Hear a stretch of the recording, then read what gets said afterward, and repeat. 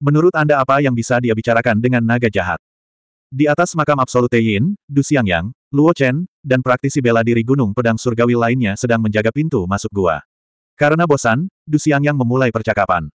Ekspresi Luo Chen dingin saat dia berkata dengan acuh tak acuh, siapa yang tahu. Anak laki-laki itu menjadi semakin tidak dapat dipahami. Sambil mengusap dagunya, mata Du Xiangyang berbinar. Bagaimana mungkin tablet penyegel iblis yang diperolehnya dari makam dewa memiliki begitu banyak kegunaan yang menakjubkan? Tablet itu dapat digunakan untuk merasakan tiga ras hantu, memicu jejak pada tubuh mereka, dan bahkan bernegosiasi dengan naga jahat. Sungguh menakjubkan. Pasti ada hal lain yang tersembunyi pada dirinya yang tidak kita ketahui. Luo Chen menyimpulkan. Du Xiangyang mengangguk tanda setuju. Aku juga berpikir begitu. Saya berharap dia dapat keluar hidup-hidup. Luo Chen mengerutkan kening. Hidupnya selalu sulit, jawab Du Xiangyang. Di sisi lain, Hei, Biyu, Luo Kexin, dan yang lainnya dari sekolah Tianqi berkumpul dan mendiskusikan sesuatu dengan suara pelan. Penatua He, tidakkah kau berpikir bahwa Qin Lai tidak hanya mengendalikan tablet penyegel iblis? Luo Kexin bertanya dengan suara rendah. Aku juga tidak yakin dia bisa melakukan begitu banyak hal dengan tablet penyegel iblis. Feng Yiyu mendengus. Hei menatap kelompok itu dan merenung sejenak. Kemudian, dia tiba-tiba berkata, makam dewa tidak sesederhana yang kalian kira. Oh, ekspresi Luo Kexin bergetar saat dia duduk tegak dan menunjukkan ketertarikan yang besar. Feng Yiyu juga mendengarkan dengan penuh perhatian. Ada beberapa hal yang hanya diketahui oleh sedikit orang. Ayahmu berpesan agar kita tidak mengungkapkannya kepada orang lain. Hei memandang Feng Yiyu. Biyu memerintahkan beberapa praktisi bela diri sekte artefak surgawi di sampingnya. Para praktisi bela diri hanya berada di alam pemenuhan dan alam fragmentasi. Mendengar ini, mereka diam-diam mundur. Mereka baru berhenti ketika mereka berada ratusan meter jauhnya. Lewat sini, orang-orang yang berkumpul di sekitar Hei adalah praktisi bela diri alam nirvana atau orang-orang dengan identitas khusus seperti Luo Kexin dan Feng Yiyu. Banyak rumor di luar sana yang benar. Kami memang punya hubungan rahasia dengan Kang Cukol. Aku yakin kalian semua tahu ini. Hei menatap Feng Yiyu dan Luo Kexin. Keduanya mengangguk ringan. Hal ini terutama berlaku bagi Feng Yiyu. Kepalanya tertunduk, ekspresinya putus asa. Aku tahu aku akan selamat dari makam dewa. Kalau bukan karena Kang Cukol, aku pasti sudah mati. Asalkan Anda mengerti. Hei mengangguk. Setelah berpikir sejenak, dia berkata, pemahaman Kang Cukol tentang makam dewa jauh melampaui kita. Menurutnya, makam dewa awalnya adalah tempat pelatihan yang disiapkan khusus untuk keturunan ras pejuang surga. Mata air jiwa murni, sisa-sisa elit kuno, dan altar jiwa murni semuanya adalah rampasan perang yang mereka persiapkan untuk para pemenang. Luo Kexin dan yang lainnya tergerak. Meskipun mereka memiliki status khusus di sekolah Tianqi. Namun rahasia sekte semacam ini, Feng Yi dan Luo Han tidak pernah memberitahu mereka. Akibatnya, mereka tidak mengetahui misteri sebenarnya dari makam para dewa. Di Pulau Laut Bulan, Qin Lai dapat melihat dari Jiang Tianxing dan Hei ke Biyu dan berkata, mungkin bukan suatu kebetulan bahwa dia dapat memperoleh tablet penyegel iblis darimu. Mungkin saja dia memiliki garis keturunan ras petarung surga yang mengalir di tubuhnya. Begitu kata-kata ini diucapkan, itu menggemparkan. Biyu, Feng Yiyu, dan Luo Kexin hampir berteriak. Luo Kexin menutup mulutnya rapat-rapat. Bagaimana dia bisa memiliki garis keturunan ras petarung surga? Biyu memucat. Itu bukan sesuatu yang dapat kita ketahui. Hei menggelengkan kepalanya dan terus menganalisis. Hanya keturunan dengan garis keturunan murni dari ras pejuang surga yang dapat dengan mudah memperoleh tablet penyegel iblis. Hanya keturunan dengan garis keturunan ras pejuang surga yang dapat dengan mudah menyalakan jejak di dalam tubuh ketiga ras hantu dan menggunakan tablet penyegel iblis untuk mengamati gerakan mereka. Demikian pula. Hei menatap ke bawah ke arah makam Absolute Yin. Hanya keturunan ras pejuang surga yang berani pergi ke bawah tanah dan bertemu dengan naga-naga jahat itu.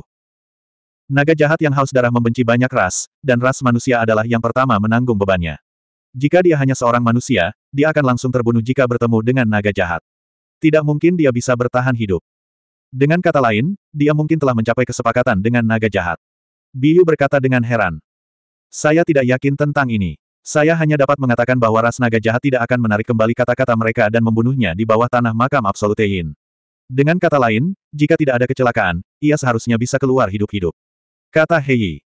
Penatua Hei, seberapa yakinkah Anda bahwa dia memiliki garis keturunan ras petarung surga? Luo Kexin bertanya dengan serius. 90% yakin Hei memiliki ekspresi serius. Semua orang saling berpandangan dan tiba-tiba terdiam. Mereka tidak tahu harus berbuat apa. Pada akhirnya, ras manusia bekerja sama dengan ras-ras alam roh dan mengusir ras pejuang surga keluar angkasa. Ekspresi Biyu tampak muram. Aku pikir jika klan pejuang surga kembali suatu hari nanti, mereka tidak akan membiarkan kita pergi. Apakah Kinlay ini seorang pion, pion yang terkubur di alam roh yang akan berguna di saat kritis? Tak seorang pun dapat memberimu jawaban. Hei mendesah. Dia dengan hati-hati bertanya tentang bagaimana Qin Lai harus memperlakukan Luo Kexin. Dia harus hidup. Hanya jika dia hidup, kita bisa mengetahui rahasia diagram kuno itu melalui dia. Kita harus membantunya menyembunyikan fakta bahwa dia memiliki garis keturunan ras pejuang surga. Kita harus merahasiakannya, kata Hei tegas. Dia menatap lurus ke arah Feng Yiyu. Feng Yiyu menciutkan lehernya dan berkata lemah, bagaimana mungkin aku tidak melihat gambaran besarnya. Sebaiknya kau jaga mulutmu. Kalau tidak, bahkan ayahmu tidak akan memaafkanmu. Hei mendengus dingin. Mengerti. Feng Yiyu mengangguk patuh. Di atas makam Absolut Yin, ribuan praktisi bela diri sedang menunggu di Gunung Pedang Surgawi, Sekte Terminator, Sekolah Tianqi, dan Gunung Binatang. Dua jam berlalu dengan cepat. Tidak ada pergerakan di bawah tanah. Qin Lai tidak muncul, dan dia juga tidak mengirim pesan apa pun. Banyak orang mengira bahwa sesuatu telah terjadi padanya dan bahwa ia telah dibunuh begitu saja oleh naga-naga jahat. Oleh karena itu, beberapa orang merasa bahwa mereka tidak boleh menunggu di sini. Mereka harus mundur dari makam Absolute Yin atau pergi ke bawah tanah untuk menyelidiki. Tepat saat orang banyak mulai tidak sabar. Hei berdiri. Dia berkata, jangan khawatir, semuanya. Saya yakin Qin Lai masih hidup. Dia pasti akan keluar. Tetua Hei, mengapa Anda begitu percaya diri? Tu Mou dari Beast Mountain berkata dengan heran. Ya, dia hanya memiliki kultivasi alam pemenuhan. Dia bahkan tidak akan mampu menahan satu serangan pun dari naga jahat. Bagaimana kamu tahu bahwa dia akan selamat? Seseorang dari Gunung Pedang Surgawi juga mulai tidak sabar. Dia telah membuktikan kemampuannya selama ini. Hei berteriak. Kerumunan orang terdiam ketika mendengar ini. Ketika mereka memikirkannya dengan seksama, mereka menyadari bahwa Qin Lai telah banyak membantu mereka selama ini.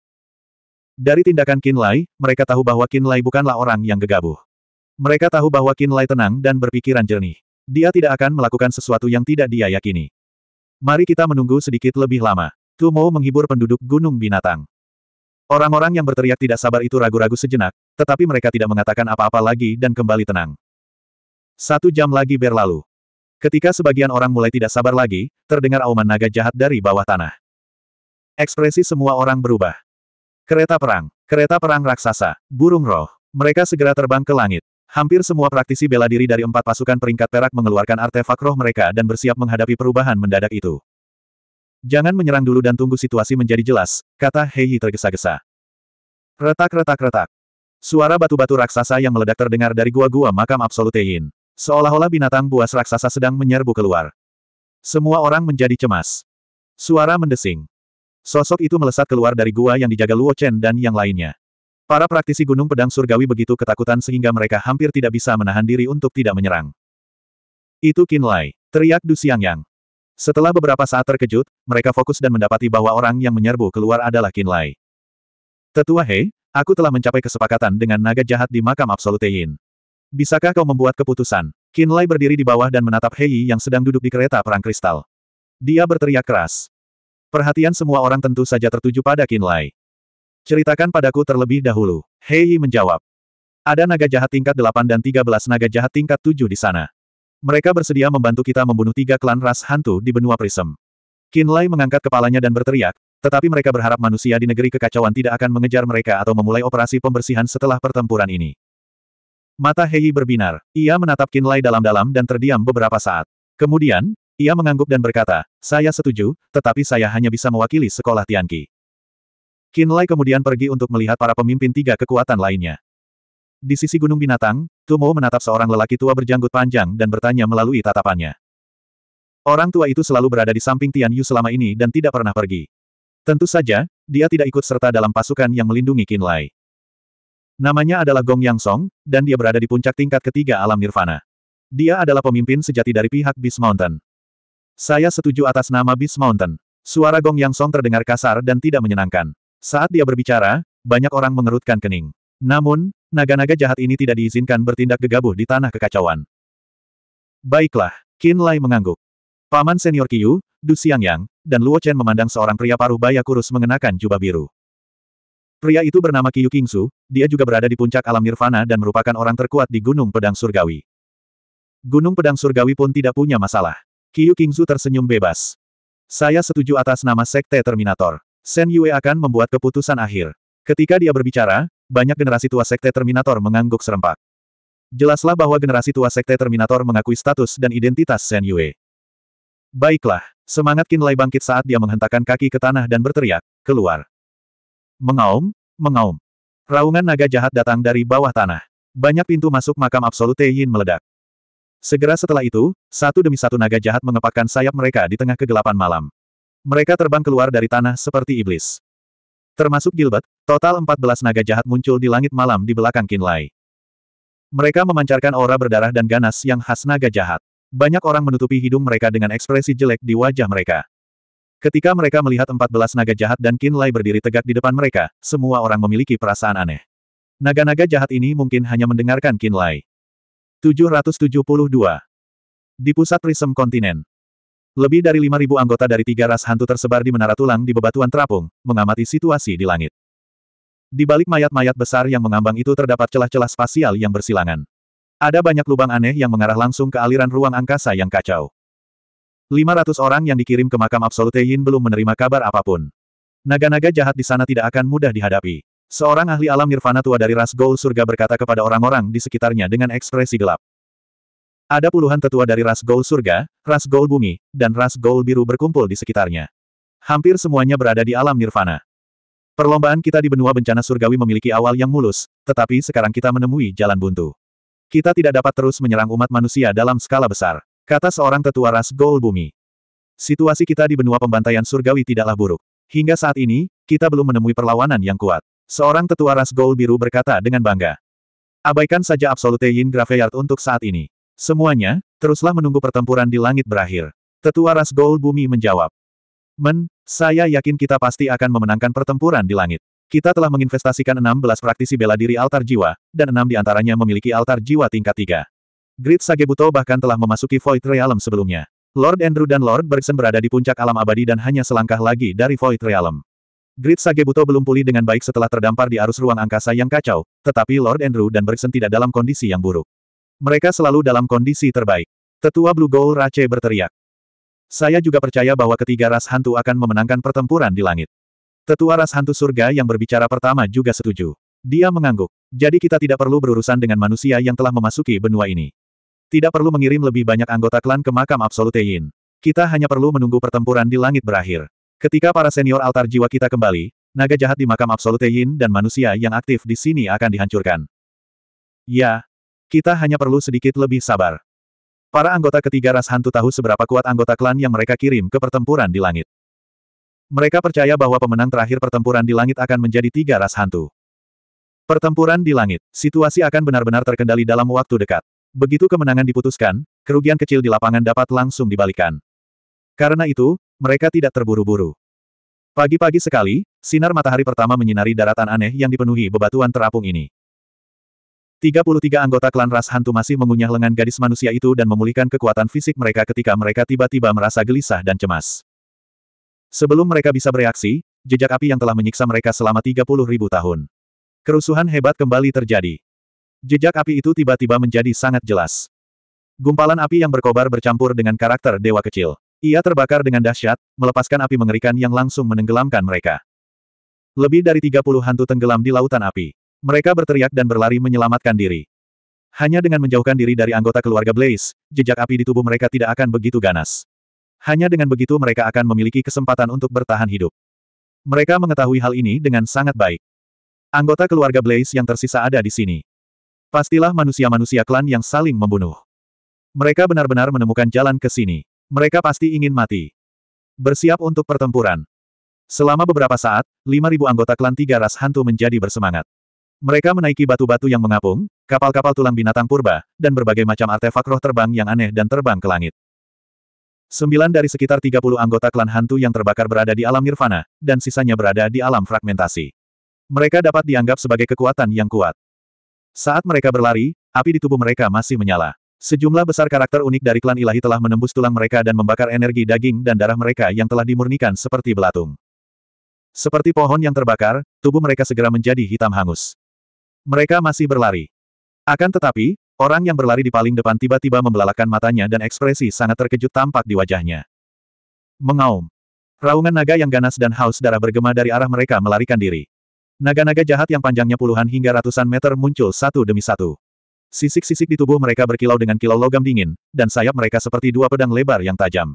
Mata hijau mereka dipenuhi dengan cahaya yang kejam dan berdarah. Bunuh makhluk-makhluk menjijikkan ini. Gilbert meraung marah. Dalam sekejap mata, api hijau, api hitam, aura es, dan aliran cairan asam dan beracun menyembur keluar dari mulut keempat belas naga jahat pada saat yang bersamaan. 30 ghoul yang melarikan diri terkena hembusan napas naga dan api beracun. Mereka langsung tewas tanpa bisa melawan. Kunyahlah hingga berkeping-keping. Gilbert meraung dan mencengkeram tiga anggota klan ghoul dengan cakar naganya. Ia memasukkan mereka ke dalam mulutnya dan menelannya. Tiga belas naga jahat tingkat tujuh juga tampak sangat bersemangat. Mereka berputar-putar di langit dan mencabik-cabik daging dan darah para anggota klan hantu, berpesta. Tak lama kemudian, sekitar 30 anggota klan hantu itu semuanya menghilang ke dalam perut mereka. Lord Gilbert, apa yang harus kita lakukan selanjutnya? Seekor naga jahat bertanya dalam bahasa naga. Bunuh jalanmu ke lembah dan lahap semua hantu kotor. Gilbert memamerkan taringnya dan mengacungkan cakarnya sambil meraung dengan liar. Kau butuh banyak makanan, banyak daging dan darah. Hanya dengan melahap hantu yang lebih kuat kau bisa naik ke peringkat berikutnya dan mendapatkan nama sejati sepertiku. Kita sudah tertidur terlalu lama untuk bertahan hidup. Meskipun evolusi ras naga jahat membutuhkan waktu yang lama, 30 ribu tahun sudah cukup lama. Yang kita butuhkan saat ini adalah daging dan darah yang kuat. Selama daging dan darah kita mengandung cukup energi kehidupan yang murni, kita mungkin bisa melangkah maju dalam waktu dekat. Bunuh mereka semua. Makan semuanya. Ketiga belas naga jahat menjadi bersemangat. Di sisi lain, Tentara manusia yang terdiri dari ribuan praktisi bela diri dari keempat kekuatan akhirnya muncul di mayat-mayat yang mengambang di semua jenis artefak roh dan burung roh. Tempat di mana kekuatan luar angkasa bersifat kacau dan bergejolak. Beraninya mereka datang ke sini untuk mati. Seorang tetua dari ras Goul Surga. Dia sedang duduk di atas mayat yang mengapung. Retakan muncul pada pupil matanya. Di sampingnya, selusin tetua ras Goul Surga juga melakukan hal yang sama. Retakan spasial juga muncul di pupil mereka. Dalam sekejap, riak spasial yang kuat datang dari balik batu terapung tempat retakan spasial saling rapat. Itu kacau dan berliku-liku. Aura yang sangat tajam memenuhi dunia dan menjadi semakin jelas. Suaranya pelan. Retakan spasial yang menakjubkan yang tampak seperti belati tajam merobek langit di atas area tempat para ahli manusia berkumpul dan bergerak dengan kecepatan tinggi. Kereta perang kristal dan para praktisi bela diri gunung binatang di dalamnya langsung dipotong-potong oleh bilas spasial. Minggirlah. Menyerang. Ekspresi Gung Song tampak gelap. Sosoknya bergerak dan melesat ke langit seperti burung hantu raksasa di malam hari. Bayangan seribu burung. Mereka adalah bayangan burung spiritual yang besar. Mereka seperti gumpalan awan yang menghalangi langit. Bayangan burung roh. Mereka terhubung satu sama lain dan memancarkan kehadiran jiwa yang kuat. Retakan spasial yang merobek udara bagaikan pisau tumpul yang menghantam logam saat menyentuh tanah terlarang yang dibentuk oleh bayangan burung roh. Retakan itu tidak dapat menembusnya. Para praktisi bela diri gunung binatang di sebelah Gung Song tidak lagi terpengaruh oleh bilas spasial. Wus wus wus wus wus wus. Pada saat inilah, palu raksasa yang berapi-api, pedang terbang yang berkilauan, kait yang sedingin es, pilar-pilar raksasa yang beratnya seperti gunung, rolet yang bertuliskan pola-pola yang rumit, pagoda emas yang bersinar dengan cahaya yang berharga, dan semua jenis artefak roh tingkat tinggi yang aneh terbang menuju tempat di mana para anggota klan tiga ras hantu berkumpul, meninggalkan jejak cahaya yang panjang dan menyilaukan di belakangnya. Para praktisi bela diri manusia di atas alam fragmentasi meninggalkan kereta perang mereka, terbang ke langit dan mengikuti artefak roh. Qin Lai duduk di atas Golden Winged Luan. Delapan lempengan kayu Thunderblitz melayang tinggi di atas kepalanya lagi. Baut petir kecil yang tak terhitung jumlahnya terjalin menjadi jaring laba-laba petir dengan kecepatan yang luar biasa. Diagram roh yang rumit dan menakjubkan terbentuk dalam sekejap mata. Sebuah bola cahaya terang terbentuk di antara tangannya dan terhubung ke jaring laba-laba petir di antara delapan lempengan kayu Thunderblitz. Formasi materialisasi diaktifkan, dan jaring laba-laba petir yang tak terhitung jumlahnya berubah secara ajaib, membentuk jantung guntur mendalam yang sangat besar yang bergemuruh dengan guntur. Kesadaran jiwa Lai tiba-tiba memasuki jantung guntur yang mendalam. Dalam sekejap, benang-benang kesadaran jiwanya membentuk hubungan yang menakjubkan dengan kilat dan guntur di dalam jantung guntur yang mendalam. Dia mengaktifkannya menggunakan seni rahasia dari ingatan Forevater Terminator. Degup-degup-degup-degup. Jantung guntur yang mendalam berdetak bagaikan jantung. Kilatan petir tak kasat mata yang tak terhitung jumlahnya bercampur dengan guntur melesat ke segala arah.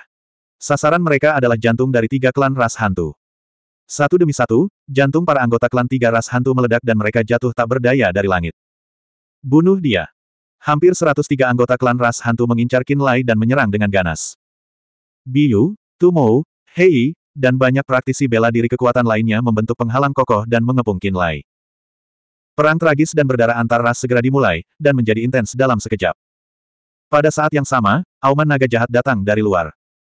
Di bawah kepemimpinan Gilbert, para naga jahat menyerang dengan ganas dan berputar di langit, membunuh anggota klan ras hantu. Gilbert yang berada di peringkat 8 setara dengan ahli altar jiwa. 13 naga jahat yang tersisa juga berada di peringkat 7. Kedatangan pasukan ini menyebabkan korban dari tiga ras hantu meningkat dengan cepat. Pertempuran sengit itu berlangsung selama satu jam. Penghalang tebal di sekitar Kinlay tidak pernah ditembus. Sebaliknya, tiga anggota klan hantu yang berada beberapa ratus meter dari Kinlay semuanya terbunuh dengan mengerikan.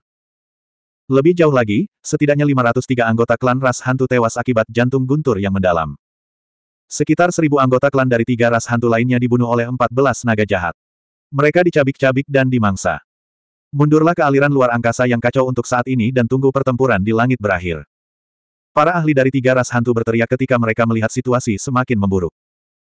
Oleh karena itu, anggota klan ras Gold Surga dan ras Gold Biru bergerak saling mendekat dan melarikan diri kembali ke arus ruang angkasa yang kacau. Para anggota klan Earth Gold menggali tanah dan menghilang tanpa jejak. 773. Anggota klan tiga ras hantu tidak punya pilihan selain melarikan diri kembali ke aliran luar angkasa yang kacau setelah menyadari bahwa mereka tidak dapat menang. Anggota klan Earth Gold bersembunyi di bawah tanah. Lebih dari seribu mayat dari tiga ras hantu tersebar di sekitar pegunungan. Ras hantu ini tidak memiliki artefak roh yang menonjol, jadi praktisi bela diri dari keempat kekuatan tidak membuang waktu untuk mencari mayat hantu. Mereka sama sekali tidak peduli dengan mayat hantu itu. Hanya 14 naga jahat yang berputar-putar dan bergerak di area tersebut, melahap mayat ketiga anggota klan ras hantu. Lebih dari seribu mayat gold, Lord Gilbert, ini pesta untuk kita. Daging dan darah yang dipenuhi energi murni ini cukup bagi kita untuk pulih. Semuanya, makanlah sepuasnya. Naga-naga jahat itu berputar-putar dan berkomunikasi dengan penuh semangat dalam bahasa naga sambil melahap mayat-mayat hantu satu demi satu. Di sisi manusia, semua orang berkumpul bersama dan menatap tajam ke arah bebatuan mengambang di belakang mereka. Batu-batu yang mengapung ini berasal dari aliran ruang angkasa yang kacau. Mereka melayang di langit seolah-olah tidak terpengaruh oleh gravitasi alam roh. Di balik bebatuan yang mengapung, banyak celah spasial yang berpotongan, dan banyak terowongan gelap yang terlihat. Tidak seorang pun tahu ke mana mereka mengarah. Jika kita dapat menghancurkan keretakan spasial ini dan memblokir terowongan yang dilaluinya, kita dapat menghemat banyak tenaga di masa mendatang. Saat Hei berbicara, dia melihat ke arah kerumunan dan bertanya, apakah ada orang yang ahli dalam kekuatan ruang yang memiliki keyakinan untuk menghancurkan terowongan spasial ini? Para praktisi bela diri dari keempat kekuatan itu menunjukkan ekspresi tak berdaya. Tak seorang pun menjawab. Setelah beberapa saat, Qiu Qingzu dari Gunung Pedang Surgawi berkata, mungkin hanya Duan Qianji yang dapat meledakkan ruang kacau yang terbentuk secara alami ini. Dia dapat memblokir terowongan yang mengarah ke aliran ruang angkasa yang kacau. Semua orang terdiam. Para praktisi bela diri dari negeri kekacauan yang ahli dalam kekuatan ruang. Pada awalnya jumlah mereka hanya sedikit. Bahkan lebih sedikit lagi yang mampu mencapai alam abadi dan mengubah terowongan spasial yang diciptakan oleh para resi agung dari ras hantu surga. Duan Qianji adalah orang yang paling mungkin melakukan ini. Sayangnya, Duan Qianji selalu sendirian dan tidak terikat oleh kekuatan apa pun. Tentu saja, dia tidak bisa datang. Luohan dari Sekte Artefak Surgawi juga sangat akrab dengan kekuatan ruang angkasa. Namun, penelitiannya difokuskan pada pembangunan formasi teleportasi spasial. Dia seharusnya tidak terlalu ahli dalam menciptakan terowongan spasial alami yang tidak bergantung pada formasi roh atau material roh. Lagi pula, Luohan tidak ada di sini. Tidak ada gunanya. Bahkan jika meledak, tidak akan ada perubahan. Qinlai tiba-tiba menyela dan menatap langit. Dia mengerutkan kening dan menjelaskan, selama orang bijak agung dari ras hantu surga tidak mati, saat mereka datang ke tempat ini, mereka tidak akan bisa bertahan hidup. Akan selalu ada cara untuk membukanya kembali atau membentuk terowongan spasial baru. Semua orang memikirkannya. Dia juga mengangguk ringan, mengetahui bahwa Lai benar. Buto dari ras Gold surga memiliki altar jiwa tiga tingkat dan pernah melihat pemandangan alam void sebelumnya. Keberadaan tingkat ini, dengan keunggulan ras bawaan dalam kekuatan ruang, tidak sulit baginya untuk terhubung dengan aliran ruang yang kacau di alam roh. Ras Gold bumi yang bersembunyi jauh di bawah tanah bahkan lebih sulit untuk dihadapi. Hei tampak menyesal. Ini adalah bakat bawaan ras mereka, dan memang sangat sulit untuk mengatasinya. Qiu Qingzu menggelengkan kepalanya sedikit. Sementara semua orang berbicara, naga-naga jahat yang dipimpin Gilbert terus melahap mayat ketiga ras hantu. Qinlai memperhatikan bahwa naga jahat secara bertahap mendapatkan sejumlah besar energi dan darah setelah memakan dan mencerna tubuh ketiga anggota klan ras hantu. Jelaslah bahwa naga jahat menghargai kekuatan tubuh mereka. Mereka bisa memperoleh kekuatan melalui pencernaan langsung makhluk hidup. Saat naga jahat itu makan, dia mendapati bahwa cahaya mata naga jahat itu menjadi semakin menakutkan. Dia tahu bahwa keempat belas naga jahat itu semakin kuat. Ini sama dengan delapan mayat dewa yang memakan tubuh praktisi bela diri untuk memulihkan dan meningkatkan kekuatan mereka. Dia mengonsumsi daging kering binatang buas untuk membantu tubuhnya yang kelelahan pulih dan memperkuat kekuatan garis keturunannya. Ini adalah prinsip yang sama. Itu adalah naluri ras kuno untuk mengisi kembali energi dan darah mereka melalui makanan. Sayangnya, kemampuan pencernaan manusia tidak cukup kuat. Tampaknya mereka tidak dapat dengan cepat memperkuat tubuh mereka, memurnikan daging dan darah mereka, dan memperkuat tubuh mereka melalui makan daging dan darah. Qin Lai akhirnya menyadari sesuatu. Tempat ini tidak cocok untuk tinggal lama-lama. Setelah beberapa saat, Hei berkata dengan keras, setelah pertempuran di langit berakhir, para ahli altar jiwa dari tiga ras hantu akan kembali ke sini. Saat itu, jika para ahli altar jiwa kami tidak mengikuti kami dengan saksama, kami akan terbunuh dengan cepat. Ya, karena pertempuran sudah berakhir, semua orang harus mundur secepatnya. Tu Mo juga mengemukakan pendapatnya. Ayo kita berpencar dan pergi, teriak Yu Qingsu. Keempat pasukan itu segera mencapai kesepakatan. Kereta perang, kereta raksasa, dan burung roh terbang ke langit sekali lagi. Qin Lai, Apakah Anda tertarik untuk ikut dengan kami untuk membahas kerja sama di masa mendatang? Luo Kexin mengundangnya. Hei, Biyu, dan yang lainnya juga memperlihatkan senyuman. Selain Feng Yu, para praktisi bela diri dari sekolah Tianqi tampaknya memiliki sikap yang baik. Mereka tampaknya ingin berinteraksi lebih jauh dengannya. Tentu, Qin Lai langsung menyetujuinya. Kalau begitu, datanglah ke pihak kami. Kereta perang kristal milik Luo Kexin terbang mendekat. Kakak senior Sen, saya akan kembali dengan sekolah Tianqi. Kata Qin Lai. Hati-hati, Sen Yue mengangguk dan tidak mengatakan apa pun lagi. Biarkan aku bicara dengan naga jahat dulu. Qin Lai memberi isyarat kepada Luo Kexin untuk menunggu sebentar. Kemudian, dia pergi ke tempat Gilbert berada dan berteriak. Gilbert, dengan mulut penuh darah, dengan gembira mencabik-cabik daging hantu itu dan memakannya dengan gembira. Naga jahat yang memiliki nama asli tampak sedikit enggan saat mendengar panggilan Qin Lai. Apa lagi yang kau inginkan? Gilbert terbang dan melayang di atas kepala Qin Lai seperti bayangan raksasa. Dia berteriak tidak sabar dalam bahasa naga, jika tidak ada yang lain, jangan ganggu aku menikmati makananku. Aku tidak punya banyak waktu untuk dihabiskan bersamamu. Kau harus meninggalkan benua Prism sesegera mungkin. Setelah pertempuran di langit berakhir, para ahli altar jiwa dari tiga ras hantu akan datang ke sini, apa pun hasilnya. Qin Lai berpikir sejenak dan berkata, juga, ada banyak ahli altar jiwa manusia. Aku tidak bisa menjamin bahwa mereka akan menepati janji mereka dan tidak menginginkanmu. Umat manusia tidak tertarik pada mayat tiga ras hantu, tetapi itu tidak berarti mereka tidak tertarik pada naga.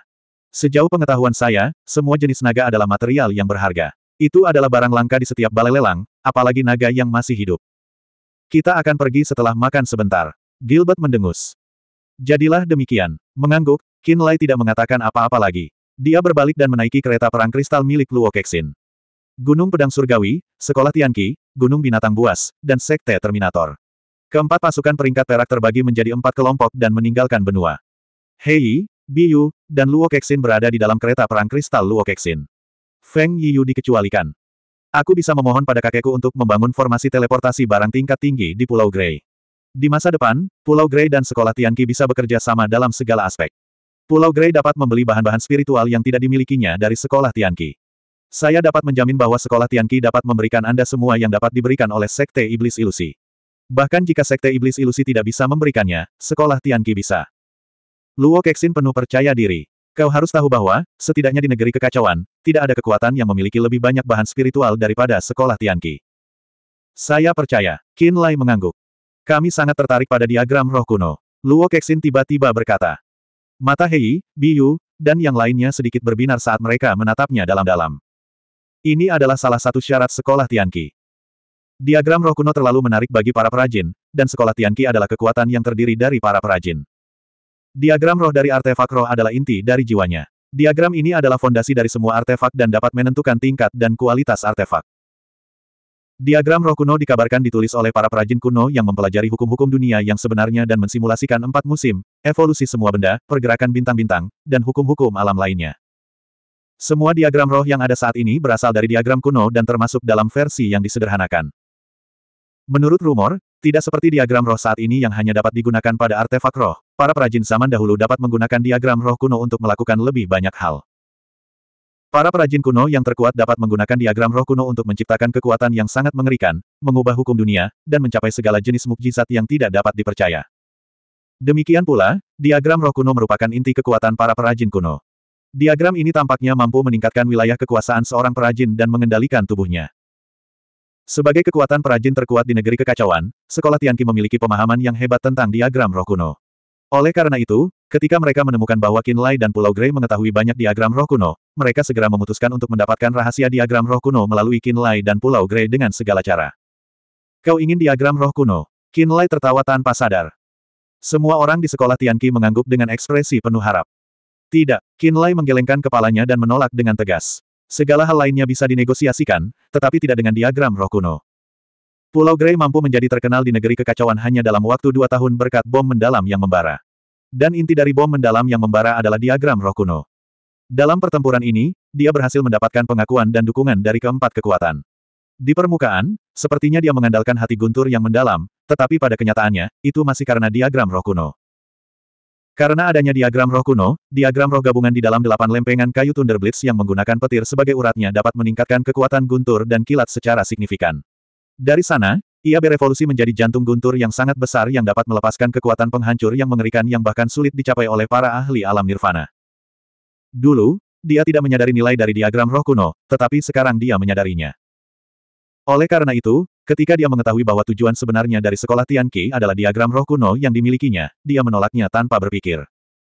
774. Di kereta perang, Hei, Biyu, Luo Kexin, dan yang lainnya dari sekolah Tianqi tiba-tiba terdiam. Qinlai berdiri tegak dengan ekspresi penuh tekad. Dia tidak berniat bernegosiasi dengan sekolah Tianqi mengenai diagram roh kuno. Diagram roh kuno sangat berharga, tetapi persahabatan sekolah Tianqi juga sama berharganya.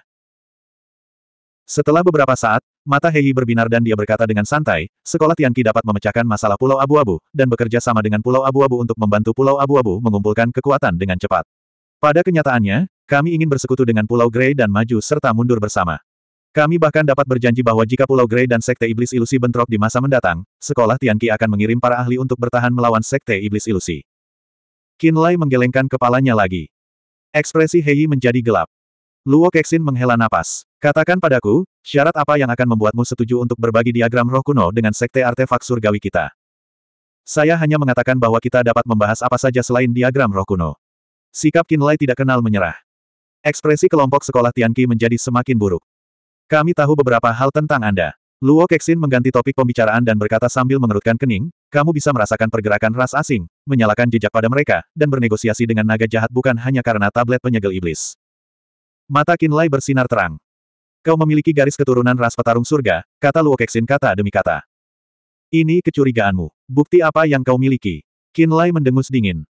Makam para dewa adalah tempat uji coba bagi ras petarung surga untuk menempa keturunan mereka.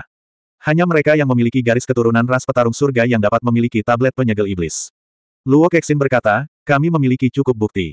Kami dapat membuktikan bahwa Anda memiliki garis keturunan ras petarung surga. Bagi banyak orang, apa arti ras pejuang surga bagi ras lain di tanah kekacauan?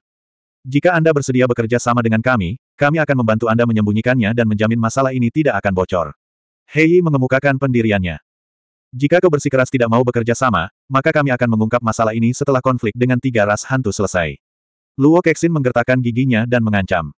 Ekspresi Qinlai menjadi gelap dan dia mengangguk. Dia berkata, saya menunggu Anda untuk mengungkap masalah ini. Kemudian, dia mengeluarkan kereta perang kristal dari cincin spasialnya dan meninggalkan sekolah Tianqi. Negosiasi dengan Old He gagal. Tak jauh dari situ, Feng Yiyu melihat Qin Lai mengendarai kereta perang kristalnya dengan ekspresi muram dan tak dapat menahan diri untuk bergegas menghampiri. Apa yang harus kita lakukan? Haruskah kita membuatnya tetap tinggal? Seorang prajurit alam nirvana dari sekolah Tianqi dengan hidung bengkok menatap He Yi dengan cemas. Biluo Kexin juga ragu-ragu. Mereka tahu kelemahan Qin Lai. Bagaimanapun, Qin Lai hanya berada di alam pemenuhan. Jika dia ingin mengendalikan delapan lempengan kayu Thunder Blitz dan menggunakan diagram roh kuno untuk memperkuat kekuatan jantung guntur yang mendalam, itu akan membutuhkan banyak usaha. Akan butuh waktu lama untuk mempersiapkannya. Dia memerlukan waktu untuk mengeluarkan kayu Thunder Blitz dan menuliskan diagram kuno. Dia butuh waktu. Mengaktifkan Profound Thunder Heart juga butuh waktu.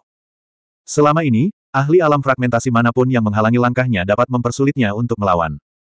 Terlebih lagi, sekolah Tianqi memiliki tujuh atau delapan ahli alam nirvana. Pada saat ini, jika sekolah Tianqi bertindak, akan mudah untuk menangkap Qinlai hidup-hidup. Dia yang tua. Tatapan semua orang tertuju pada Hei dan menunggu keputusannya. Monster tuanan berdiri di belakang Qinlai. Hei mengerutkan kening dalam-dalam. Saat ini, kita sedang berperang melawan tiga ras hantu. Jika kita bertindak dan menyebabkan perang antara sekolah Tianqi dan Sekte Terminator, konsekuensinya akan tak terbayangkan. Jika kita melewatkan kesempatan ini, akan sangat sulit untuk menahannya di masa mendatang. Si ahli berhidung elang yang siap bergerak berteriak. Biarkan aku berpikir, Hei tidak dapat mengambil keputusan. Akan tetapi, saat ini, ekspresi para praktisi bela diri sekolah Tianqi berubah. Qin Lai, yang sedang mengemudikan kereta perang kristal dan terbang menjauh dari benua prisma, sedikit menjauh dari sekolah Tianqi dan mengeluarkan lolongan aneh. Raungan itu memiliki kekuatan yang luar biasa. Raungan itu menyebar jauh dan luas, semakin keras dan keras. Tidak lama setelah raungan itu terdengar, raungan naga jahat mengguncang langit dari jauh. Keempat belas naga jahat yang dipimpin Gilbert tidak tahu ke mana mereka harus pergi setelah meninggalkan pusat benua prisma. Secara alami, mereka mengikuti aroma Kinlay dan mengikutinya. Mereka tidak jauh dari Kinlay selama ini. Melalui hubungan antara garis keturunannya dan jejak keluarga Blaze di mata Gilbert, Kinlay secara kasar dapat merasakan lokasi mereka. Oleh karena itu, ketika dia mundur dari sekolah Tianqi, dia segera memanggil Gilbert melalui seni rahasia. Meskipun Gilbert tidak mau, dia menanggapi dengan raungan naga dan bergegas bersama anggota klannya. Sebelum orang-orang dari sekolah Tianqi bisa bereaksi, keempat belas naga jahat muncul dari awan di kejauhan. Gilbert segera muncul di sebelah Kinlay dan berteriak dengan tidak sabar, mengapa kamu memanggilku lagi? Kamu tidak bisa tinggal di benua Prisma. Setelah kamu pergi, apakah kamu punya tujuan? Kinlay bertanya dengan santai. Gilbert mendengus dingin. Aku sedang berpikir. Jangan berpikir, ikutlah denganku. Aku akan mencarikan tempat untukmu. Kinlay mengundangku. Setidaknya, aku tidak akan mencoba menyakitimu. Lagi pula, di dunia ini, sepertinya tidak ada seorang pun yang bisa kau percaya selain aku. Jadi apa? Kata para naga jahat dengan nada tidak puas. Jika kau ikut denganku, aku bisa bernegosiasi dengan ras manusia untukmu jika kau menemui masalah. Kinlay berkata dengan tulus. Kau begitu lemah, bagaimana kau bisa menolong kami? Para naga jahat tidak mempercayaiku. Aku punya caraku sendiri. Jika kau percaya padaku, ikutlah denganku. Kinlay melanjutkan. Kami belum punya tujuan saat ini, jadi kami akan ikut dengan Anda. Para naga jahat berpikir dengan hati-hati dan tampaknya merasa bahwa mereka tidak punya pilihan lain. Pada akhirnya, mereka setuju. Jangan khawatir, anda akan menemukan di masa mendatang bahwa ini adalah pilihan terbaik. Qin Lai menyeringai. Tunggu aku, aku akan mengobrol dengan orang-orang itu. Dia mengemudikan kereta perang kristal itu mendekati sekolah Tianqi. Dia memandang Hei dan yang lainnya dari jauh dan berkata dengan nada meremehkan, kalian ingin menahanku di sini dengan paksa. Kelompok praktisi bela diri Sekte Artefak Surgawi merasa malu dan tidak berdaya. Qin Lai, kami dengan tulus ingin bekerja dengan Anda. Luo Kexin memaksakan senyum. Ketulusanmu adalah memaksaku untuk tetap tinggal jika aku tidak bekerja denganmu. Ekspresi Kinlay tampak gelap. Dia mencibir dan berkata, apa yang akan terjadi jika kau menahanku di sini? Apakah kau akan menggunakan kristal fragmen memori untuk mengekstraksi ingatanku dan mengambil semua yang berhubungan dengan diagram roh kuno? Ketika dia mengatakan hal ini, para praktisi bela diri sekolah Tianqi terdiam. Banyak di antara mereka yang memang memendam pikiran seperti itu. Saya minta maaf karena mengecewakan Anda. Kinlay terus mengejek dan mengejek. Awalnya dia berpikir bahwa sekte artefak surgawi milikmu layak untuk diajak bicara, tetapi tampaknya kamu tidak layak. Kata-kata leluhur itu sangat benar. Para artefak adalah sekelompok orang yang pengkhianat dan tidak tahu malu. Para praktisi bela diri sekolah Tianqi merasa semakin malu. Sampai kita bertemu lagi. Setelah mengatakan ini, dia terbang kembali ke arah 14 naga jahat. Sekelompok ahli sekte artefak surgawi mengawasinya pergi. Tidak ada yang berani bergerak. Gilbert, yang memiliki nama asli, sebanding dengan ahli altar jiwa. Ditambah dengan 13 naga jahat peringkat 7, kekuatan naga jahat itu sama sekali tidak kalah dengan mereka. Bahkan, mereka sedikit lebih kuat. Mereka tidak berani mengambil risiko. Karena itu, mereka hanya bisa menyaksikan kepergian Kinlay. Ayo pergi. Kereta perang kristal Kinlay berhenti di belakang leher naga jahat Gilbert dengan ekspresi gelap. Keempat belas naga jahat itu berbicara satu sama lain dalam bahasa naga saat mereka terbang menjauh dari benua prism. Ketika mereka terbang dengan kecepatan penuh, mereka meninggalkan benua itu hanya dalam waktu dua jam. Setelah meninggalkan benua Prisma, Lai menunjuk ke arah baru. Naga-naga jahat itu terus berbicara dengan penuh semangat sambil terbang. Saat itu tengah hari, dan matahari seharusnya bersinar terang. Namun, awan di atas kepala mereka tertutup oleh awan tebal dengan warna yang berbeda-beda. Gelombang getaran yang mengerikan kadang-kadang keluar dari awan dan menyebabkan jiwa sejati makhluk di bawah merasa tercekik. Semua makhluk di altar jiwa sedang bertarung di langit. Gilbert menatap langit dan merasakan gelombang kejut yang mengguncang bumi. Dia tidak bisa menahan diri untuk tidak melihat ke atas. Lai juga melihat ke langit dan berkata, ini sudah berlangsung beberapa waktu. Kita harus meninggalkan tempat ini secepat mungkin. Naga-naga jahat itu tidak menunggu perintah Lai. Mereka mempercepat laju mereka dan terbang ke arah yang ditunjuknya. 775. Lai pergi bersama naga jahat. Ledakan. Suara gemuruh menggetarkan bumi terdengar dari dalam awan. Riak energi dahsyat turun dari langit seperti galaksi yang runtuh. Gilbert berhenti, dan Lai menatap langit dengan ekspresi gelap. Sungai cahaya yang terang, puluhan ribu meter panjangnya dan ribuan meter lebarnya, bersilangan di langit dan merobek ruang angkasa. Di tempat sungai-sungai cahaya berpotongan, bola cahaya yang menyilaukan itu membiaskan cahaya ilahi yang tak terhitung jumlahnya. Sosok yang menyerupai meteor jatuh dari bola cahaya, berlubang-lubang akibat cahaya itu, altar jiwanya hancur. Sosok itu jatuh dari langit. Kinlay mengumpulkan kesadaran pikirannya dan menyelidiki, tetapi tidak dapat melihat sosok yang jatuh. Dia tidak dapat membedakan apakah itu manusia atau hantu. Apakah dia manusia atau hantu? Tanya Kinlay serius. Mata hijau naga jahat Gilbert bersinar dengan dua lampu hijau yang panjangnya hampir 100 meter. Banyak rune bahasa naga berkelebat dalam cahaya hijau, mengandung makna mendalam yang dapat menembus pengetahuan langit dan bumi. Ini adalah seni rahasia ras naga, kebenaran naga langit. Seni ini menggunakan napas naga, mata naga, dan bahasa naga untuk membedakan dunia dan menjelajahi rahasia. Itu manusia. Gilbert tampak sedikit terkejut saat melihat sosok yang jatuh itu. Altar jiwanya hancur, dan jiwanya terpotong-potong menjadi banyak bagian oleh kekuatan spasial. Banyak dari mereka yang ditarik ke tempat yang tidak diketahui, jadi akan sulit baginya untuk berubah. Jadi, dia, mati. Ekspresi Kinlay berubah. Kurang lebih begitu, jawab Gilbert. Kinlay merasa cemas. Pertempuran di langit menentukan situasi umum umat manusia dan tiga ras hantu. Jika para ahli altar jiwa dari empat pasukan peringkat perak tidak dapat mengalahkan hantu tua dari tiga ras hantu. Ketiga ras hantu akan memiliki lebih banyak waktu untuk beristirahat dan memulihkan diri. Jika ketiga ras hantu diberi lebih banyak waktu, mereka akan pulih lebih cepat. Lain kali, mereka akan lebih sulit dihadapi. Seorang ahli altar jiwa manusia jatuh dari langit. Ini berarti bahwa umat manusia tidak memiliki keuntungan yang besar dalam pertempuran awan. Akan ada lebih banyak variabel di masa mendatang. Ledakan. Dua bola fluktuasi dahsyat, seperti ledakan matahari yang membakar, muncul dari kedalaman awan.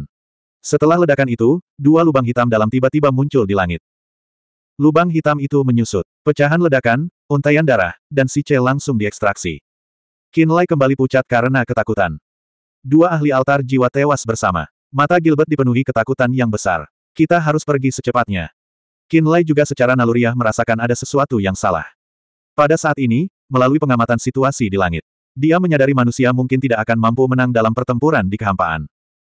Jika ras manusia tidak menang, maka dia tidak perlu kembali ke benua surgawi yang sunyi. Selain itu, dia mungkin menghadapi banyak faktor yang tidak terduga. Dia juga khawatir kalau sekolah Tianqi akan mengungkap identitasnya sebagai keturunan garis keturunan langsung dan menyebabkan orang-orang dari Gunung Pedang Surgawi dan Gunung Binatang berencana melawannya. Para ahli Soul Altar meninggal satu demi satu. Ini berarti pertempuran di langit telah berakhir.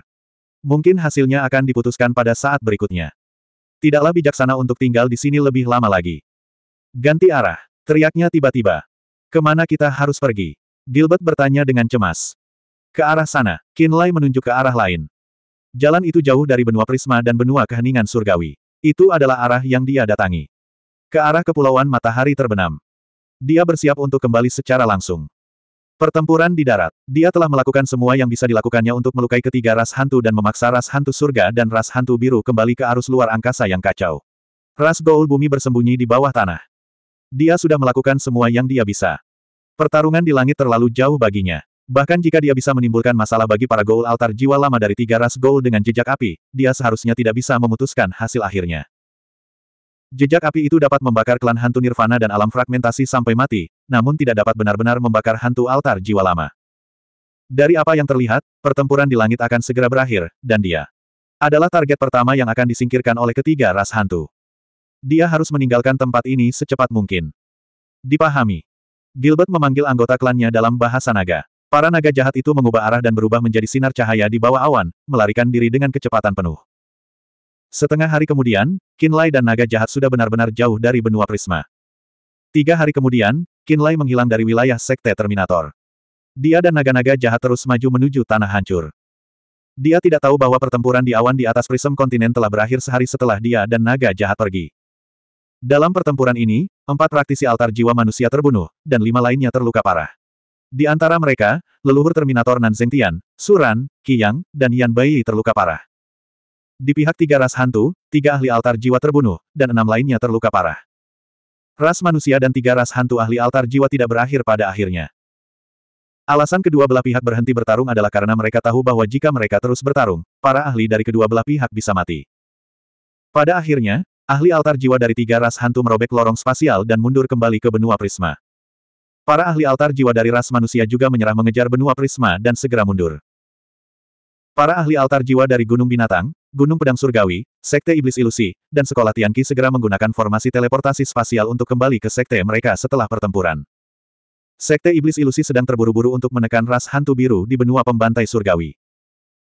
Gunung Binatang, Gunung Pedang Surgawi, dan Sekolah Tianqi harus kembali ke sekte mereka untuk memulihkan diri dengan seni rahasia karena para ahli altar jiwa mereka terluka parah.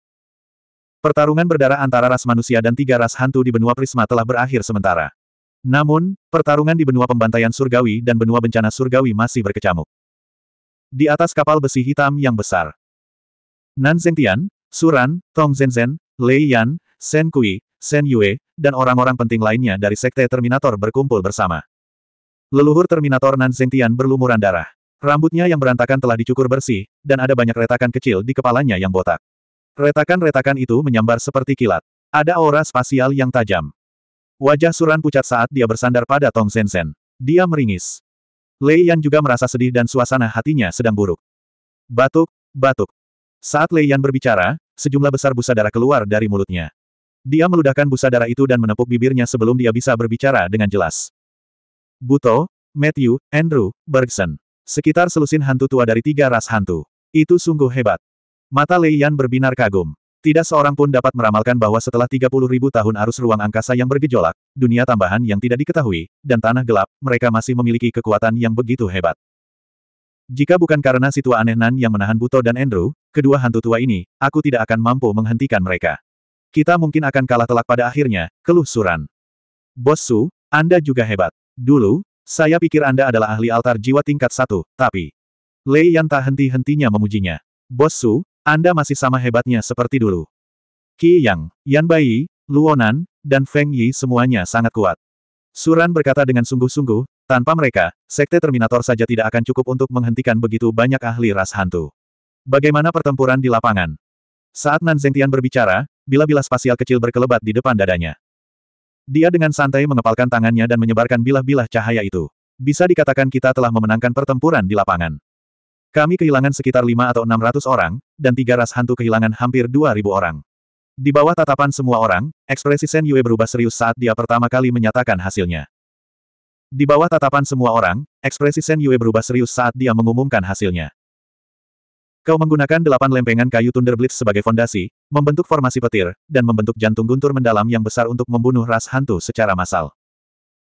Menggunakan delapan lempengan kayu Thunder Blitz sebagai fondasi, membentuk formasi petir, dan mengumpulkan Profound Thunder Heart yang besar untuk membunuh semua anggota klan hantu secara massal.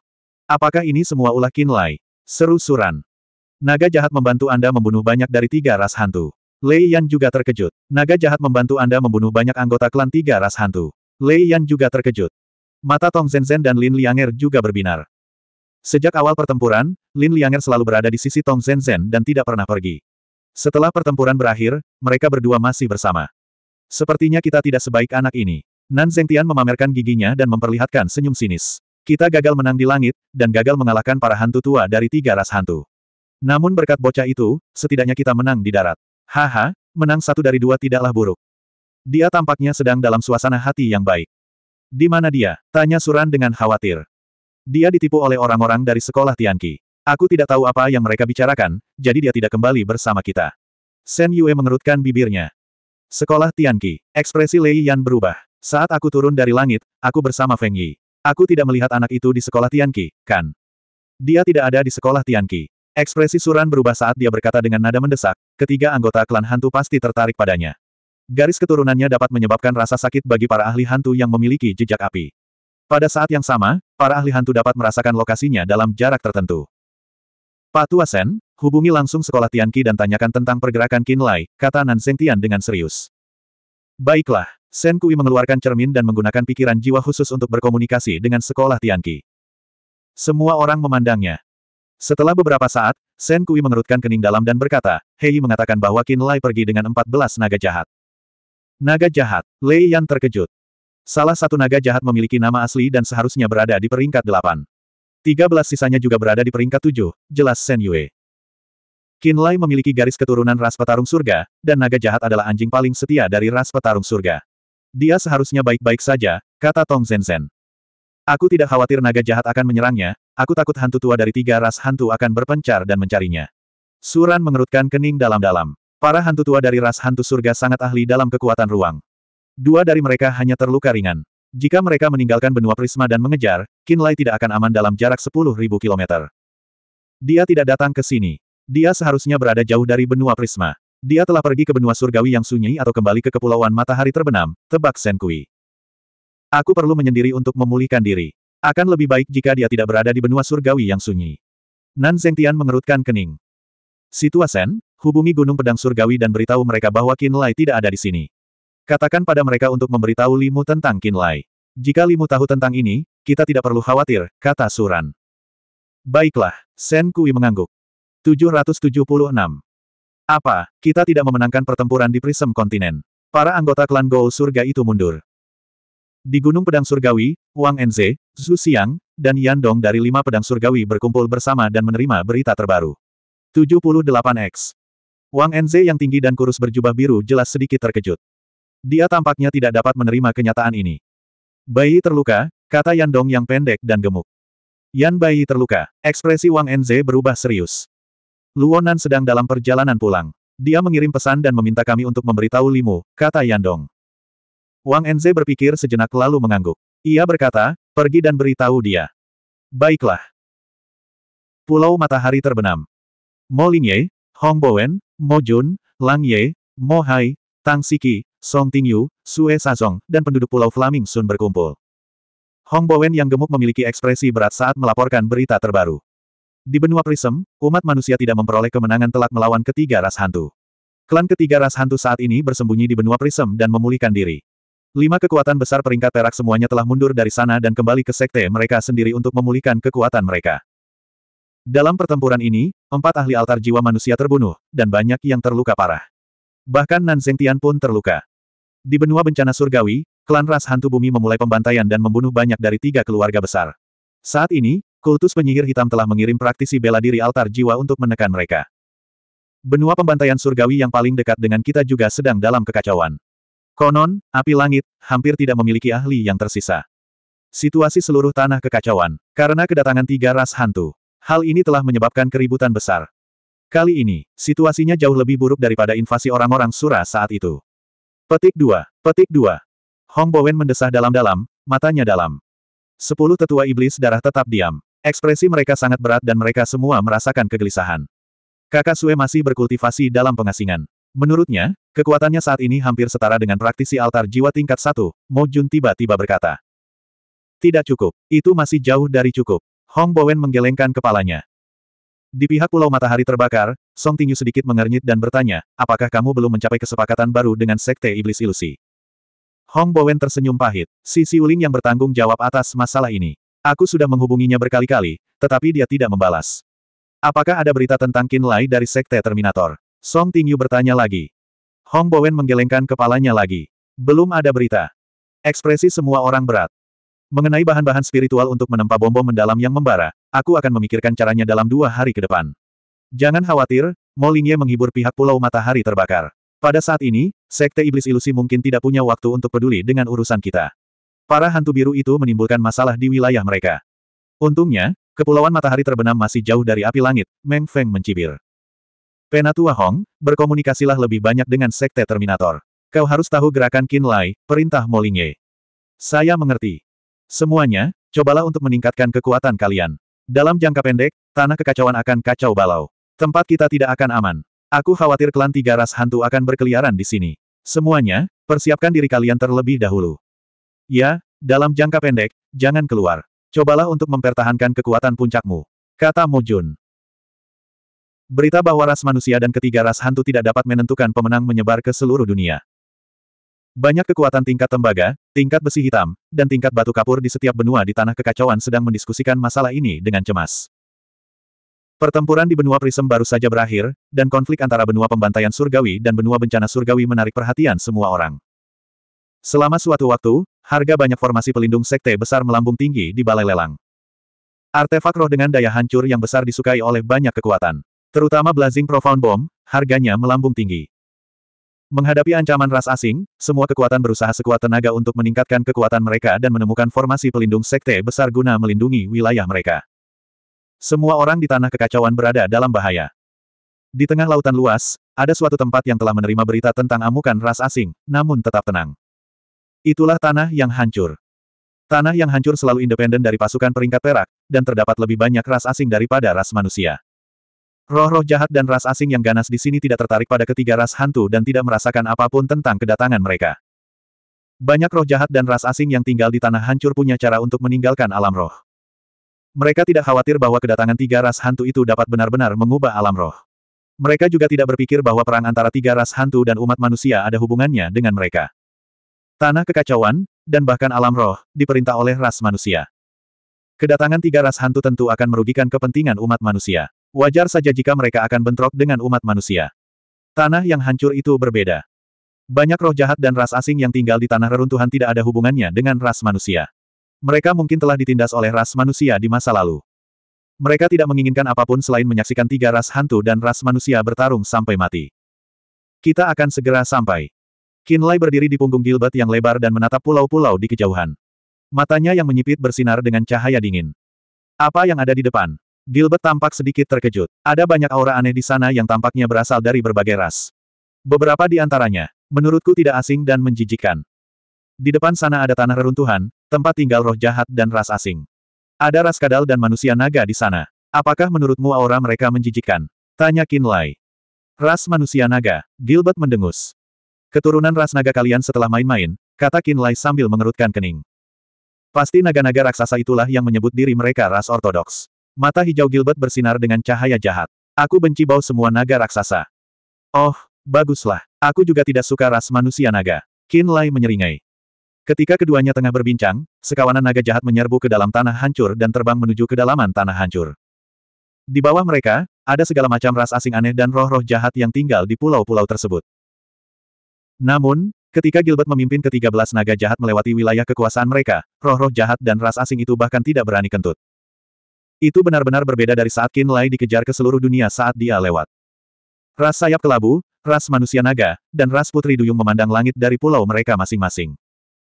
Ketika mereka melihat bahwa itu adalah naga jahat yang lewat, roh-roh jahat dan ras asing ini menatap dengan mata terbelalak dan berteriak. Itu naga jahat. Brengsek, mengapa ada naga jahat di sini? Apakah saya berfantasi? Mengapa naga jahat berani muncul di siang bolong? Untuk sementara waktu, banyak roh jahat dan ras asing di pulau-pulau di tanah hancur terkejut. Duduk di Gilbert, Lai memimpin 14 naga jahat melintasi tanah hancur dan tiba di Pulau Tujuh Mata. Energi iblis bawah tanah yang tebal di Pulau Tujuh Mata telah menjadi sangat tipis. Banyak anggota ras kadal dan ras manusia naga bekerja di pulau itu, memetik buah-buahan dan beberapa ramuan roh unik di pulau itu. Bunuh semua anggota klan kadal dan manusia naga. Sambil mengerutkan kening, Qin Lai menunduk dan berkata, bunuh mereka, dan kamu akan tinggal di pulau ini untuk sementara. Baiklah, perintah Gilbert dalam bahasa naga. Ketiga belas naga jahat meraung dan menyerang. Setelah monster tua bermata tujuh lap pergi, pulau bermata tujuh ini ditempati oleh klan kadal dan manusia naga. Mereka mulai menambang sumber daya di pulau itu. Gutuo dan Yan hampir membunuhnya dan lap di pulau Frost, dan memaksa lap meninggalkan pulau Seven Eye. Lai selalu mengingat ini. Sekarang dia telah kembali ke tanah hancur dengan 14 naga jahat, tentu saja dia tidak akan menahan diri. Klan kadal dan manusia naga di pulau Seven Eye tidak terlalu kuat. Dalam waktu singkat, lebih dari setengah dari mereka dicabik-cabik oleh 13 naga jahat. Berhenti. Aku bawahan Tuan Gu Tuo. Beraninya kau membunuh para anggota klan manusia naga di tanah reruntuhan. Apa kau tidak mengerti situasinya? Suara marah terdengar dari luar pulau tujuh mata. Seorang anggota klan manusia naga bertubuh tinggi datang dengan ekspresi ganas. Eh, bukankah ini King Luo? Lama tak berjumpa. Qin Lai tertawa panjang. Siapa kamu? King Luo bertanya dengan bingung. Qin Lai terdiam. Setelah berpikir, dia mengeluarkan topeng kulit rubah dan memakainya. Kau sudah mengenalku sekarang. Yao Tian, Kau Yao Tian, teriak King Luo. 777. King Luo jelas terkejut. Lebih dari setengah tahun yang lalu, Gutuo dan Qi Yan telah bekerja sama untuk menangkap Qin Lai hidup-hidup dan mengekstrak darah klan ilahi dalam tubuhnya. Pada saat yang genting, leluhur angin gelap telah ikut campur dan tiba-tiba berdiri di pihak Qin Lai untuk menghentikan Lap, Gutuo, dan Qi Yan sendirian. Qin Lai dan Lap berhasil melarikan diri dari Pulau Frost. Karena itu, Gutuo dan Qi Yan telah berkali-kali membuat masalah bagi Darkwing. Para manusia naga dan ras kadal juga telah mengirim banyak anggota klan untuk menjelajahi tanah reruntuhan dalam upaya untuk menemukan Qin Lai. Sayangnya, Qin Lai tidak pernah muncul, dan Gu Tuo serta Qi Yan secara bertahap menyerah. Kemunculan kembali Qin Lai mengejutkan King Luo dengan membawa 14 naga jahat bersamanya.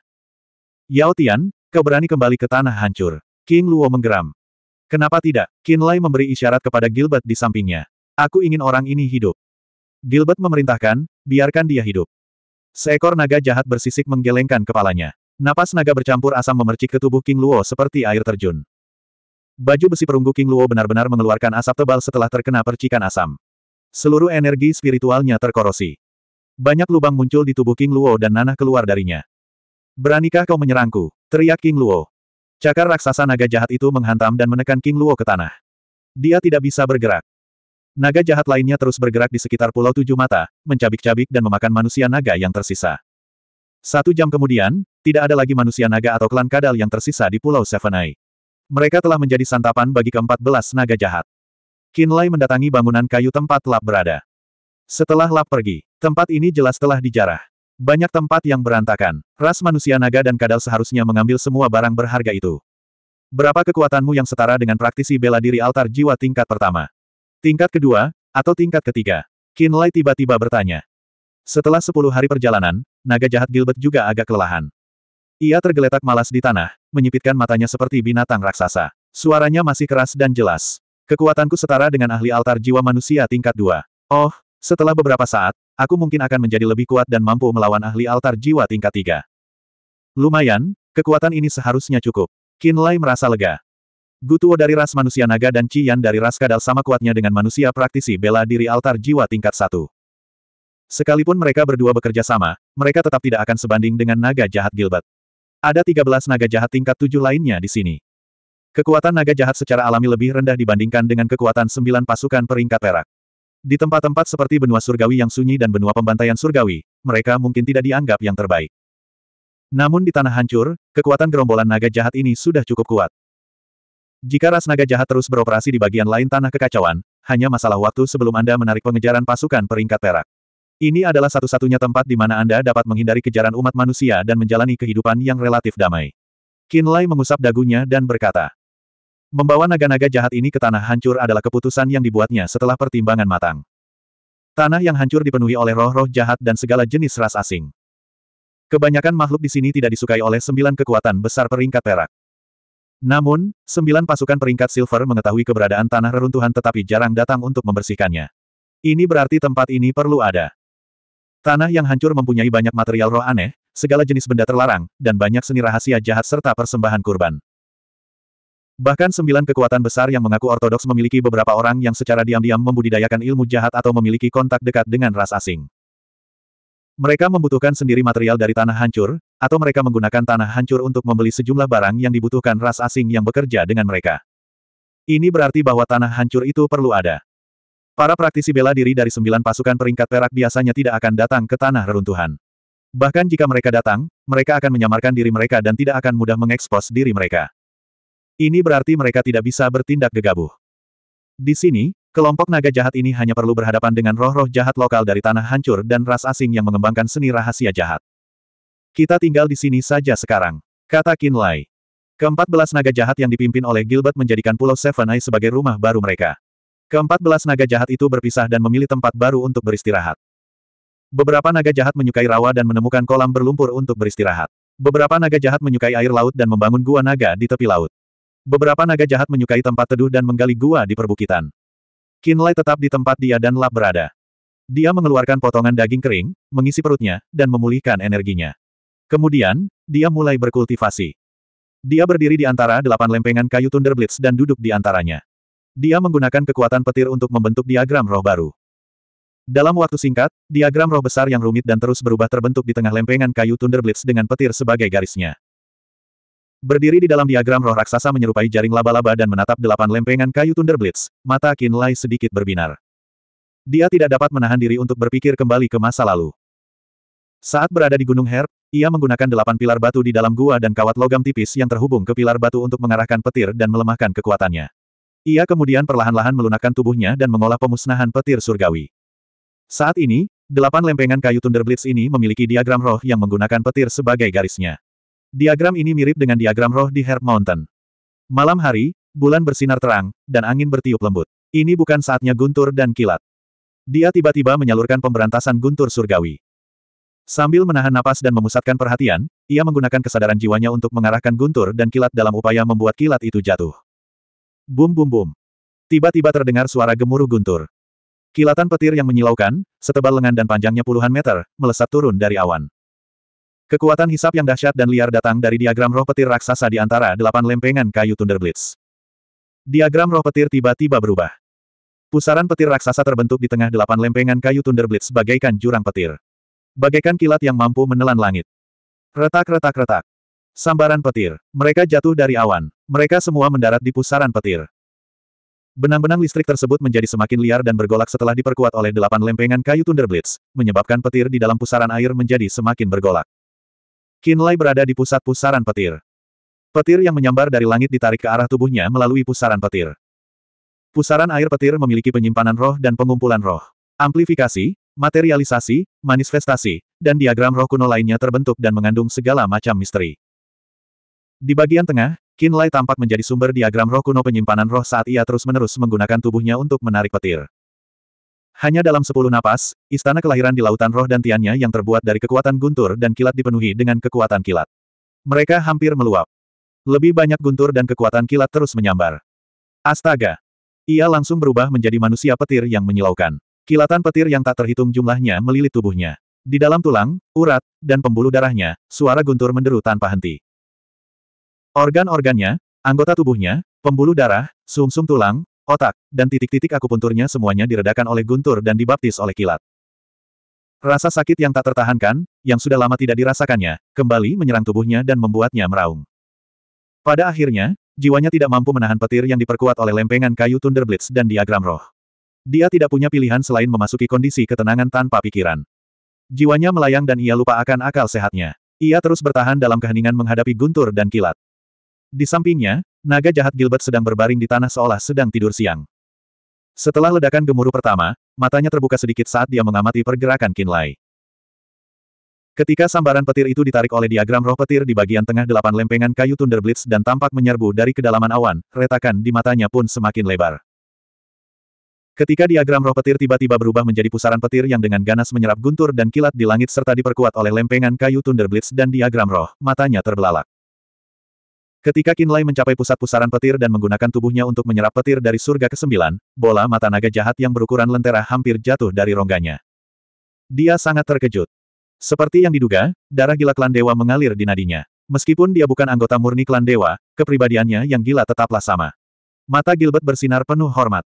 Kegilaan klan ilahi terkenal di dunia. Ras ini akan membayar harga berapapun untuk menjadi lebih kuat. Tidak pernah ada yang lemah. Bahkan wanita dan anak-anak pun dipenuhi dengan gen kegilaan. Para anggota klan ilahi terlahir sebagai pejuang, dan para wanita serta anak-anak pun tak terkecuali. Konon, sebelum klan dewa turun ke alam roh, mereka pernah berperang melawan ras kuno di luar angkasa. Selama ras ini ada, mereka selalu dalam keadaan agresif. Setelah mereka memasuki alam roh, mereka segera memulai perang melawan semua ras yang ada di alam roh.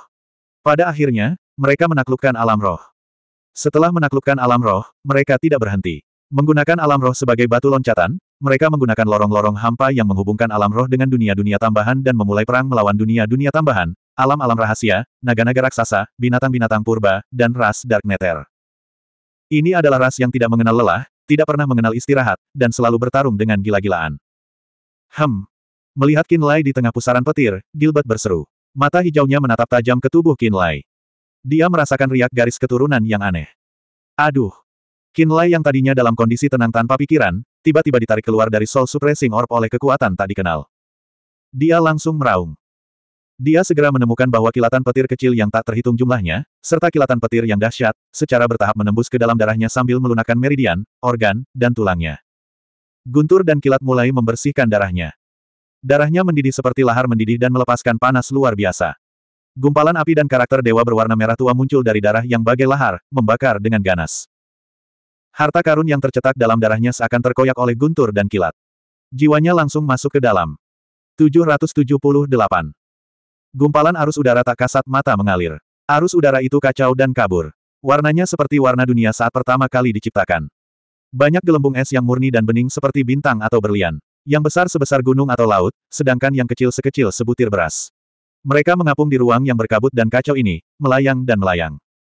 Di dalam gelembung es yang transparan, garis-garis yang bersinar samar-samar terlihat. Dia bisa melihat karakter-karakter dewa kecil yang bersinar yang tampaknya merekam banyak rahasia dan rahasia. Bayangan jiwa perlahan terbentuk di samping titik cahaya kecil. Bayangan itu berputar dan berubah. Setelah sekian lama, bayangan itu berubah menjadi bayangan jiwa Kinlay. Dia menatap tempat tak dikenal ini dengan tatapan kosong. Dia hanya ingat bahwa dia sedang menempa tubuhnya dengan Heavenly Thunder Eradication. Dia menggunakan delapan lempengan kayu Thunder Blitz dan diagram petir raksasa untuk menempa tubuhnya dengan guntur dan kilat. Ketika garis keturunannya mendidih dan melepaskan panas seperti magma, kesadaran jiwanya memasuki garis keturunannya dan tampaknya melewati lorong yang panjang dan dalam. Dia ada di sini. Dia tidak tahu di mana dia berada. Ada banyak gelembung es di sekitar bayangan jiwanya. Gelembung-gelembung es itu hanya seukuran bola karet. Ia mengamati dengan persepsi jiwanya dan menemukan bahwa ada miliaran gelembung serupa yang jauh darinya. Gelembung-gelembung itu luas dan tak berujung. Ia memiliki ilusi bahwa ia berada di lautan bintang yang tak terbatas dan melihat bintang-bintang yang tak terhitung jumlahnya. Hatinya merasa kesepian dan tak berdaya. Apa tempat ini? Apa gelembung-gelembung yang berkilau dan tembus pandang itu? Saat ia memikirkan hal ini, bayangan jiwanya mencoba menyentuh gelembung yang paling dekat dengannya. Ajaibnya, jiwanya menjadi bayangan. Dia langsung memasuki gelembung es. Dalam sekejap, di dalam gelembung es kecil ini, garis-garis terang kecil yang tak terhitung jumlahnya dan karakter-karakter ilahi kecil mengalir ke dalam bayangan jiwanya seperti miliaran kunang-kunang. Adegan dan karakter kuno The Divine Clan membekas dengan banyak kenangan dari Heaven Gold Rache, Earth Gold Rache, Blue Gold Rache, para ahli dari tiga ras Gold, perubahan kekuatan tiga ras Gold, dan pengetahuan tentang kemampuan laten ras tiga ras Gold. Segala sesuatunya terpatri dalam jiwanya. Dia merasa seolah-olah otaknya hendak meledak dan jiwanya hendak runtuh. Buto, Andrew, Bergson, Matthew, dan para ahli lainnya dari tiga ras hantu besar, yang mati, yang selamat, yang lolos, dan segala sesuatu tentang masa lalu mereka. Pikiran-pikiran ini berkelebat dalam benaknya bagai kilat. Dia menerima segalanya secara pasif. Setelah jangka waktu yang tidak diketahui. Bayangan jiwanya berjalan keluar dari gelembung es. Ia menemukan bahwa cahaya dalam gelembung itu masih berubah, menyesuaikan diri, seolah-olah kembali ke keadaan semula. Seolah-olah sedang menunggu jiwa berikutnya untuk mendapatkan semua yang ada di dalamnya. Terlebih lagi, jiwanya sudah memiliki sejumlah besar kenangan mengenai tiga ras hantu setelah dia meninggalkan tempat ini. Begitulah cara dia mengetahui bahwa ras pejuang surga memiliki banyak ahli alam void selama perang melawan tiga ras hantu. Dia bahkan mengetahui nama-nama ahli alam void tersebut, seni roh yang mereka kuasai, dan kata-kata yang mereka ucapkan sebelum mereka meninggal. Dia tahu bahwa ras Gold surga secara alami peka terhadap kekuatan ruang. Mereka dapat berkultivasi di tempat-tempat di mana kekuatan ruang terdistorsi dan kacau dan meningkatkan kekuatan mereka. Dia juga tahu bahwa ras Gold bumi dapat dengan mudah menyelinap ke bawah tanah. Dia tahu bahwa ras Gold bumi bersembunyi di tanah yang gelap. Dia juga tahu bahwa tubuh ras Gold biru kuat dan memiliki kekuatan dewa dan setan, tetapi mereka tidak memiliki persepsi energi roh. Dia tidak pernah memiliki pemahaman sedalam itu tentang tiga ras hantu besar. Segala macam pengetahuan dan kenangan tentang tiga ras hantu tercetak di kedalaman pikirannya melalui gelembung es. Dia tahu ras ini seperti punggung tangannya. Dia mengingat kembali kenangan mengenai tiga ras hantu dalam pikirannya.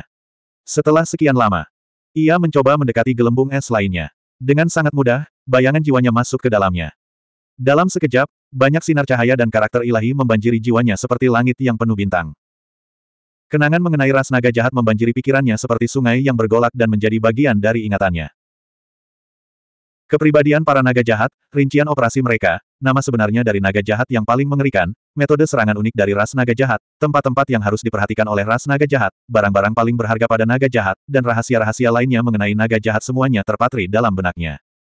Dia memperoleh pemahaman mendalam yang tak terukur tentang ras naga jahat.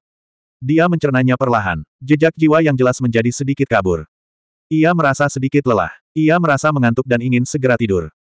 Oleh karena itu, ia bergegas pergi ke gelembung es ketiga yang paling dekat dengannya.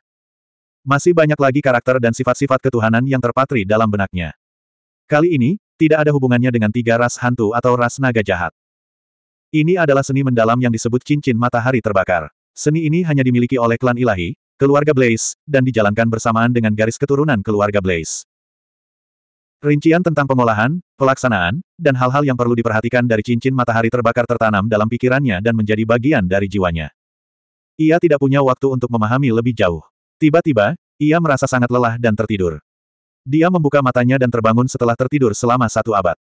Pikirannya sedikit linglung saat dia melihat sekelilingnya dengan pandangan kosong. Dia tidak bisa membedakan antara kenyataan dan ilusi. Ia berbaring di tengah delapan lempengan kayu Thunder Blitz. Pusaran air yang terbentuk dari petir telah menghilangkan semua energinya dan menghilang sejak lama. Tidak ada lagi petir yang jatuh dari langit. Di sampingnya, tiga naga jahat merangkak dan menatap dengan mata hijau mereka seolah-olah mereka sedang melindunginya. Dia perlahan-lahan sadar dan bertanya dengan santai, di mana Gilbert? Tuanku sedang memberi pelajaran pada Gutuo dan Cian. Salah satu naga jahat menghembuskan napas malas dan menambahkan, ini yang keempat kalinya. Keempat kalinya, Qin Lai terkejut. Anda tidur selama tiga bulan. Naga jahat berkata dengan nada tidak tergesa-gesa. Tiga bulan, seru Qin Lai. Tepatnya, tiga bulan dan dua puluh satu hari. Tidak terlalu lama, bahkan tidur siang pun akan memakan waktu lebih lama dari ini. Naga jahat itu terungkap. Mengapa begini, mengapa begini, gumam Kinlay. Ia mengingat kembali keadaannya saat ia tertidur dan menemukan banyak kenangan muncul di benaknya. Kenangan-kenangan itu, tentang tiga ras hantu, tentang naga jahat, tentang metode rahasia untuk mengolah, memadatkan, dan mengaktifkan cincin matahari terbakar. Segala sesuatu yang diperolehnya dalam tidurnya terjaga keawetannya. Matanya tiba-tiba memancarkan cahaya yang menakjubkan. Tuanku berkata kau pergi ke Chaos Blood Realm milik klan dewa. Dia berkata kau seharusnya mendapatkan sesuatu. Naga jahat itu menyela. Mata Kinlay dari Chaos Blood Realm dipenuhi kebingungan. Hanya ras kuno sejati yang memiliki Chaos Blood Realm yang menjadi milik ras mereka. Chaos Blood Realm mirip dengan Scripture Tower milik umat manusia. Di dalam Chaos Blood Realm, masa lalu yang gemilang dari seorang ahli kuno akan terekam. Di dalamnya terdapat warisan abadi dari ras mereka, dan klan teratas dari ras mereka. Mereka juga bisa menanamkan pengertian dan pemahaman mereka tentang kekuasaan, serta pengalaman hidup mereka di dalamnya. Garis keturunan ras kuno adalah kunci untuk membuka Chaos Blood Realm. Keturunan ras kuno, selama garis keturunan mereka cukup murni, memiliki peluang tertentu untuk memasuki Chaos Blood Realm ras mereka seiring dengan peningkatan kultivasi dan garis keturunan mereka. Kemudian, mereka akan memperoleh sejumlah besar pengetahuan dari perbendaharaan garis keturunan ras mereka. Sebagian ilmunya berkaitan dengan penyempurnaan tubuh, sebagian lagi berkaitan dengan pengaktifan rahasia garis keturunan. Beberapa terkait dengan rahasia musuh-musuhnya, dan beberapa terkait dengan penjelajahan jiwa. Naga jahat ini sedikit malas. Dia menjelaskan situasi Chaos Blood Realm tanpa tergesa-gesa. Apakah kalian para naga jahat juga memiliki Chaos Blood Realm? Qin Lai terkejut. Tentu saja, mata naga jahat ini bersinar dengan cahaya yang bangga. Ras naga jahat, naga raksasa, naga iblis, naga tulang, dan ras naga lainnya semuanya berbagi alam darah kekacauan. Alam darah kekacauan ras naga juga mencatat kejayaan ras naga, seni kultivasi unik ras naga, dan sejarah berbagai ras naga kuat yang pernah lahir. Namun, mata naga jahat ini menunjukkan ekspresi putus asa. Hanya naga jahat dengan nama asli yang dapat secara kebetulan memasuki alam darah kekacauan ras naga untuk dibaptis dan memperoleh warisan unik dari ras naga. Dia hanya berada di peringkat tujuh dan belum berhasil menembus level itu lagi, jadi dia tidak punya peluang untuk memasuki Chaos Blood Realm. Kinlay bertanya apakah Gilbert pernah ke sana sebelumnya. Tuanku, tuanku telah tertidur terlalu lama dan belum sempat masuk. Naga jahat ini berkata dengan takut-takut. Di mana Chaos Blood Realm? Kinlay bertanya dengan heran. Dikatakan bahwa di kedalaman pusaran Primal Chaos Origin, tempat yang hanya bisa dimasuki oleh jiwa, Primal Chaos Blood Realm merekam rahasia sebenarnya dari garis keturunan ras kuno yang kuat. Setiap ras yang memiliki Primal Chaos Blood Realm adalah ras yang benar-benar kuat. Ras Gold Surga, ras Gold Bumi, dan ras Gold Bumi tidak memiliki Chaos Blood Realm mereka sendiri. Ini berarti bahwa ketiga ras Gold tersebut tidak cukup kuno dan tidak memiliki sejarah yang panjang. Naga jahat itu berkata dengan bangga. Sejarah yang panjang. Kinlay bahkan lebih terkejut. Tidak lama setelah Chaos tercipta, beberapa ras pun lahir. Ras-ras yang lahir pada saat itu memiliki Chaos Blood Realm mereka sendiri. Banyak ras yang muncul setelahnya, seperti tiga ras hantu besar, ras manusia, ras manusia naga, ras kadal, ras putri duyung, dan ras manusia naga, tidak memiliki sejarah kuno. Mereka adalah ras yang berevolusi kemudian, jadi mereka tidak memiliki Chaos Blood Realm mereka sendiri. Naga jahat itu menggelengkan kepalanya dengan bangga. Jadi Anda juga memiliki garis keturunan kuno dan mulia. Tentu saja. Bagus sekali, bagus sekali. Kinlay tertawa terbahak-bahak. Setelah berpikir sejenak, dia bertanya, Gutuo dan Qi yang telah datang beberapa kali baru-baru ini, tetapi Gilbert telah mengusir mereka.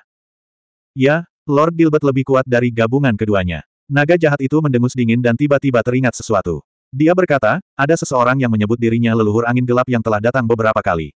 Dia tidak memaksa masuk dan berkata bahwa dia ingin bertemu denganmu. Leluhur angin gelap, mengangguk, Lai berkata, aku mengerti. Bawa aku keluar, aku ingin melihat Gilbert, Gutuo, dan Qi Yan bertarung. Sambil berkata demikian, dia melompat ke atas naga jahat itu. Setelah bergerak, dia tiba-tiba menemukan bahwa energi spiritual di lautan roh dan tiannya telah meningkat hampir lima kali lipat. Dia hampir seketika tiba di tubuh naga jahat itu. Dia menyipitkan matanya dan dengan hati-hati merasakan kelainan di lautan roh dan jiwa sejatinya. Dia menemukan bahwa bahkan danau jiwanya telah mengembang tiga kali lipat. Tahap tengah dari alam pemenuhan. Dia langsung mengerti. 779. Senyum aneh muncul di wajah Qinlai. Baginya, terobosan dalam kultivasi ini agak membingungkan. Dia telah tidur selama lebih dari tiga bulan. Ketika dia bangun, dia tidak hanya mencapai tahap tengah alam pemenuhan, lautan rohnya, energi rohnya, dan danau jiwanya telah meluas, dia bahkan mempelajari banyak rahasia dari tiga naga jahat ras hantu dan menguasai seni roh yang disebut cincin matahari terbakar dari keluarga Blaze. Semuanya begitu luar biasa. Dia keluar dan bertanya kepada naga jahat di bawahnya. Lanjut, Qin Lai mengangguk.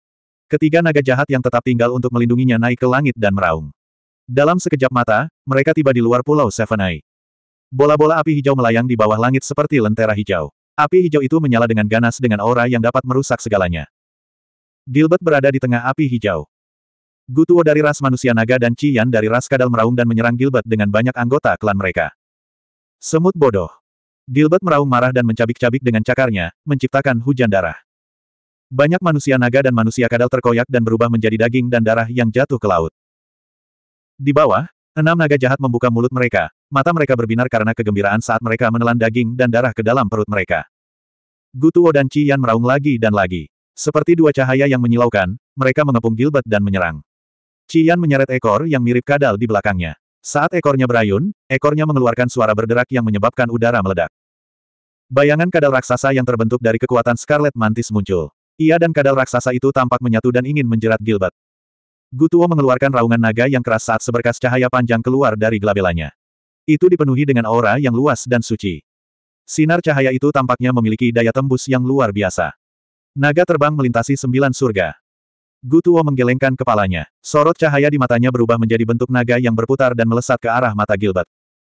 Kau bahkan tidak memiliki kekuatan garis keturunan, dan kau berani melawan aku. Gilbert mencibir. Ia melebarkan sayapnya yang lebar dan menutupi langit, hampir menghalangi sinar matahari.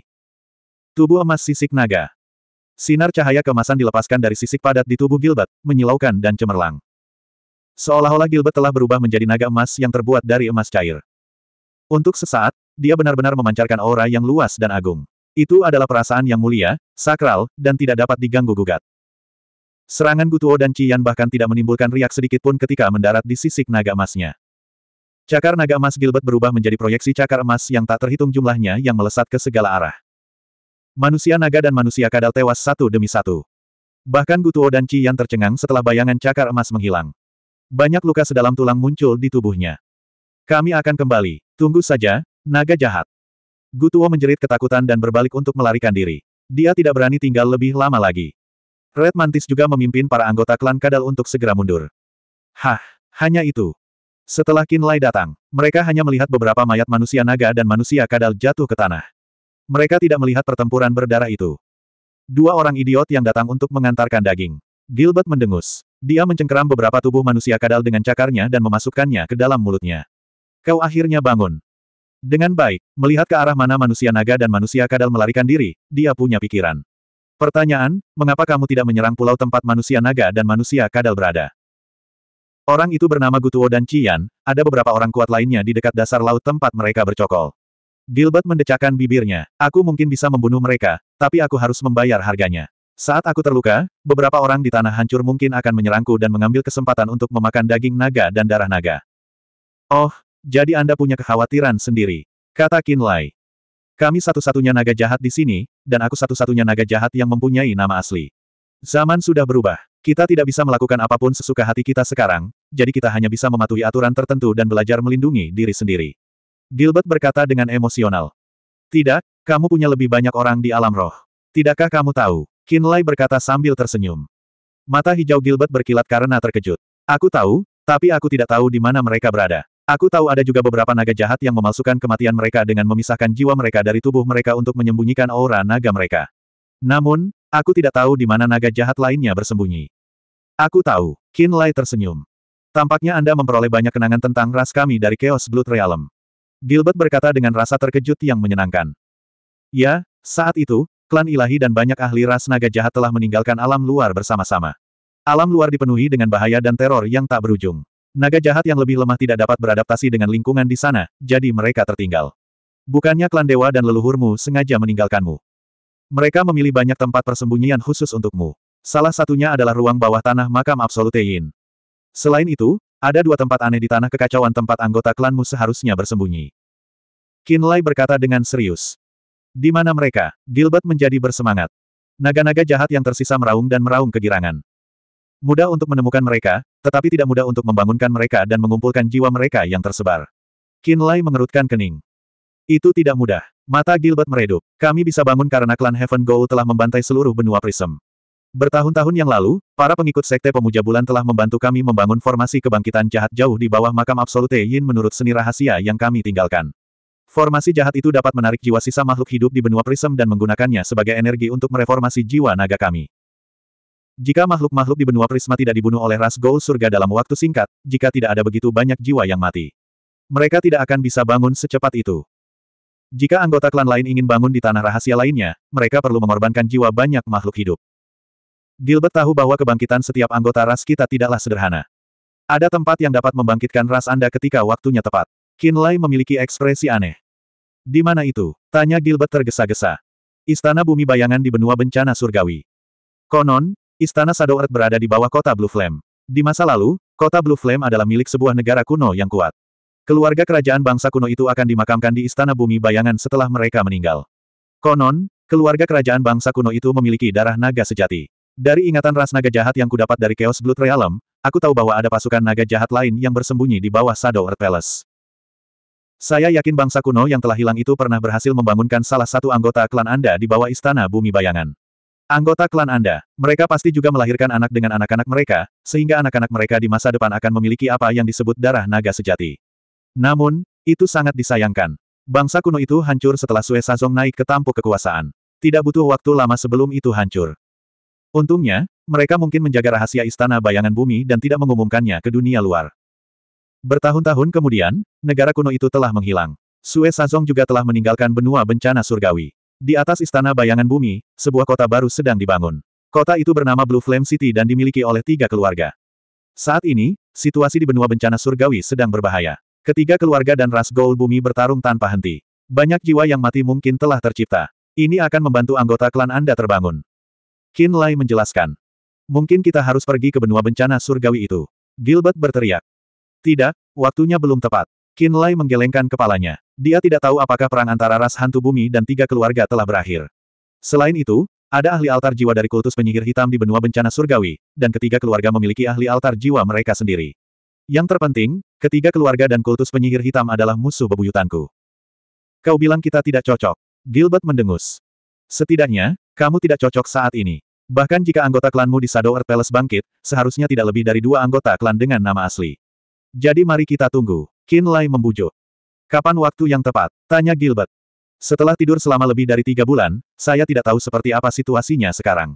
Setidaknya, tunggu sampai saya mengerti situasinya. Qin Lai berpikir sejenak dan memerintahkan naga jahat di bawahnya, kirim aku ke pulau tempat leluhur angin gelap berada. Aku akan pergi bersamamu, Gilbert mengungkapkan. Baiklah. Pulau angin gelap terletak jauh di tanah reruntuhan. Pulau itu lima kali lebih besar dari pulau tujuh mata. Pulau angin gelap terkenal di tanah reruntuhan. Sangat sedikit orang yang berani bertindak lancang di Pulau Angin Gelap. Hal ini dikarenakan leluhur angin gelap merupakan salah satu roh jahat paling terkenal di tanah hancur. Tujuh naga jahat, yang dipimpin oleh Gilbert, meninggalkan Pulau Tujuh Mata dan membawa Kinlay ke kedalaman tanah hancur. Sepanjang perjalanan, banyak roh jahat dan ras asing di pulau itu menunjukkan tatapan terkejut dan diam-diam meminta informasi. Gutuo dan Cian baru saja melarikan diri dari Pulau Tujuh Mata. Mereka tampaknya terluka lagi. Ini adalah keempat kalinya mereka berdua kembali dari Pulau Seven Eye dalam keadaan kalah. Tampaknya naga jahat yang menduduki Pulau Tujuh Mata sangat kuat. Tentu saja, ras naga jahat adalah salah satu cakar tertajam klan ilahi di masa lalu. Bagaimana mungkin mereka tidak kuat?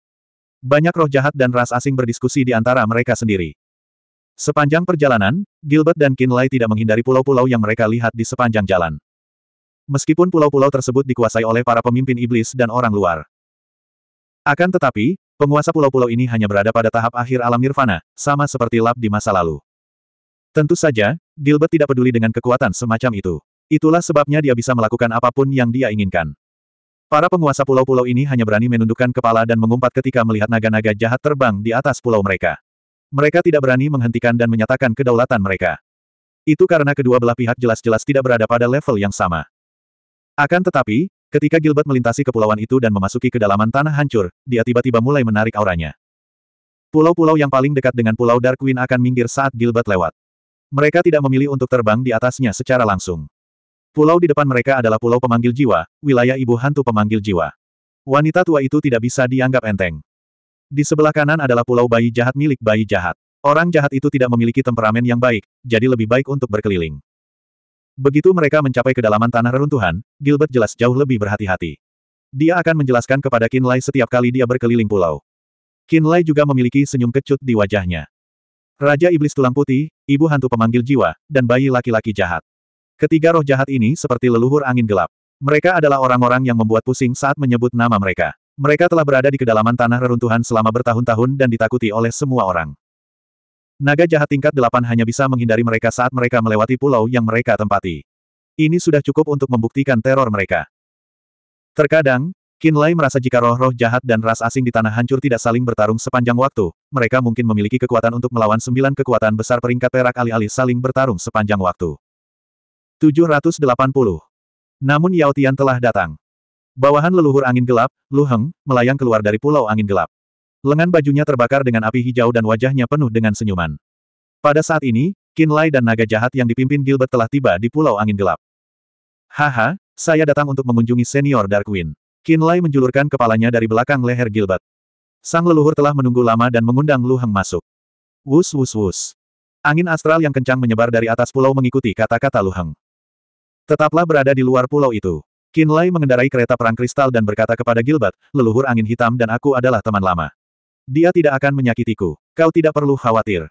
Baiklah, Gilbert mengizinkannya pergi sendiri. Naga jahat turun dari atas pulau angin gelap dan berhenti di samping pulau, menunggu Qin Lai keluar. Mereka menemani Qin Lai karena mereka khawatir orang-orang Gutuo dan Yan akan menyergap dan membunuh mereka di sepanjang jalan. Mereka tidak tertarik dengan pembicaraan antara Qin Lai dan leluhur angin hitam. Mereka tidak ingin tahu detailnya. Di bawah pimpinan Lu Heng, kereta perang kristal Qin Lai terbang langsung ke Pulau Angin Gelap. Saat mereka memasuki Pulau Angin Gelap, energi roh dunia yang kaya langsung menghantam wajah mereka. Qin Lai memperhatikan bahwa ada banyak pohon kuno langka yang ditanam di sembilan istana Pulau Angin Gelap. Setiap pohon kuno ini tingginya 100 meter dan memiliki dedaunan yang lebat. Saat angin bertiup, pohon-pohon kuno itu bergoyang seolah-olah dapat mengumpulkan energi roh dunia. Bangunan kayu yang terbuat dari kayu abadi juga tersebar di seluruh pulau dalam formasi tertentu. Dinding bangunan kayu ini diukir dengan gambar gunung, sungai, dan pohon kuno. Ada berbagai macam binatang roh dan banyak pola yang rumit dan indah. Jelas mereka memiliki kegunaan khusus. Sang leluhur berada tepat di depan. Lu Heng memimpin jalan. Di puncak istana kayu tujuh lantai yang tingginya puluhan meter, leluhur angin gelap yang kurus kering berdiri tegak seperti tiang bambu di dekat jendela. Ketika dia melihat Qin Lai, dialah yang pertama kali tersenyum sinis. Hehehe, lama tak berjumpa. Apa kabar, teman muda? Senyum leluhur angin gelap terdengar tidak enak didengar, tetapi di telinga Qin Lai, kedengarannya sedikit ramah. Dia masih ingat bahwa jika leluhur angin gelap tidak ikut campur pada saat kritis dan menghentikan Gutuo dan Qi Yan di Pulau Frost, dia pasti sudah mati. Baik dia maupun Lap tidak akan mampu meninggalkan tanah hancur hidup-hidup. Dia berutang budi yang besar kepada leluhur Darkwing.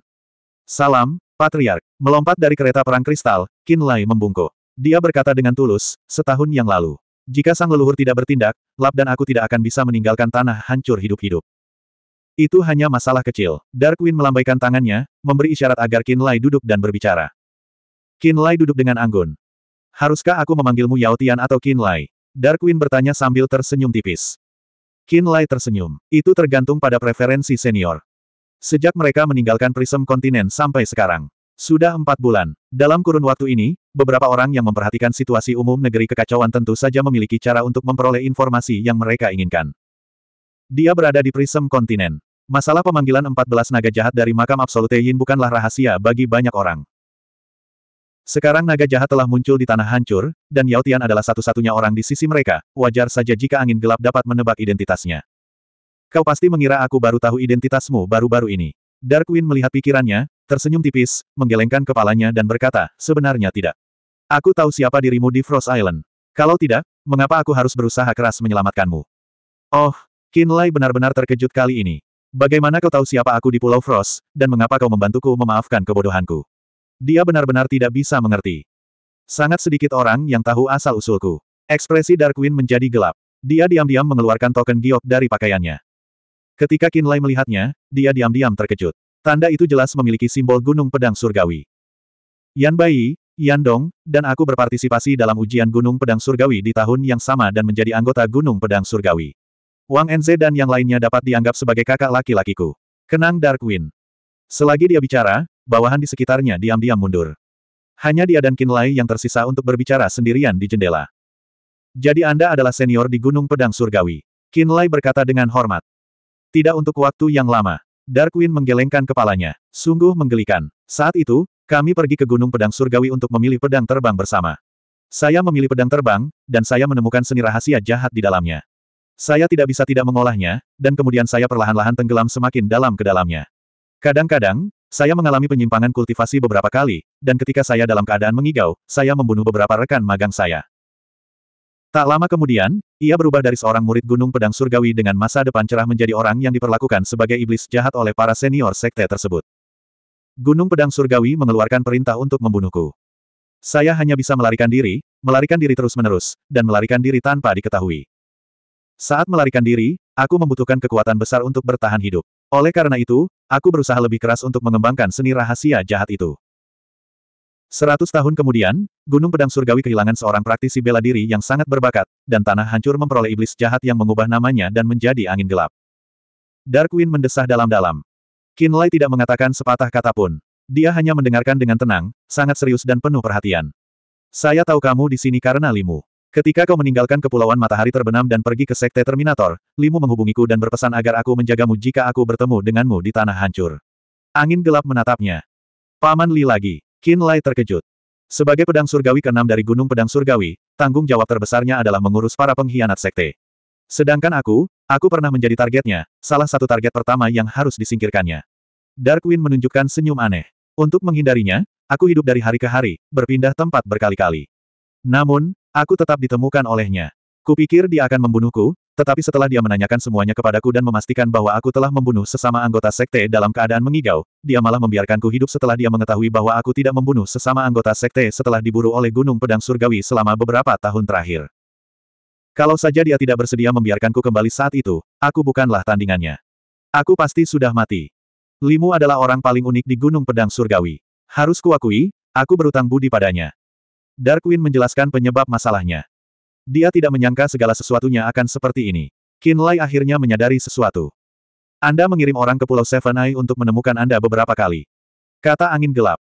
Saya sedang berkultivasi dalam pengasingan dan tidak tahu tentang ini. Saya bangun hari ini dan langsung datang ke Pulau Angin Gelap. Kinlay menjelaskan. Limu menyuruhku untuk memberitahumu bahwa Pulau Flaming Sun milikmu sedang dalam masalah. Dia menyuruhmu untuk meyakinkan Evil Baby Boy dari Pulau Evil Infant untuk membantumu membangun formasi teleportasi di Pulau Seven Eye yang terhubung ke Pulau Flaming Sun. Kata angin gelap. Apa gunanya membangun formasi teleportasi yang terhubung ke Pulau Flaming Sun? Pulau Flaming Sun tidak memiliki formasi teleportasi sendiri. Bahkan Sue Sazong hanya memiliki satu formasi teleportasi yang terhubung ke tanah darah tertinggi.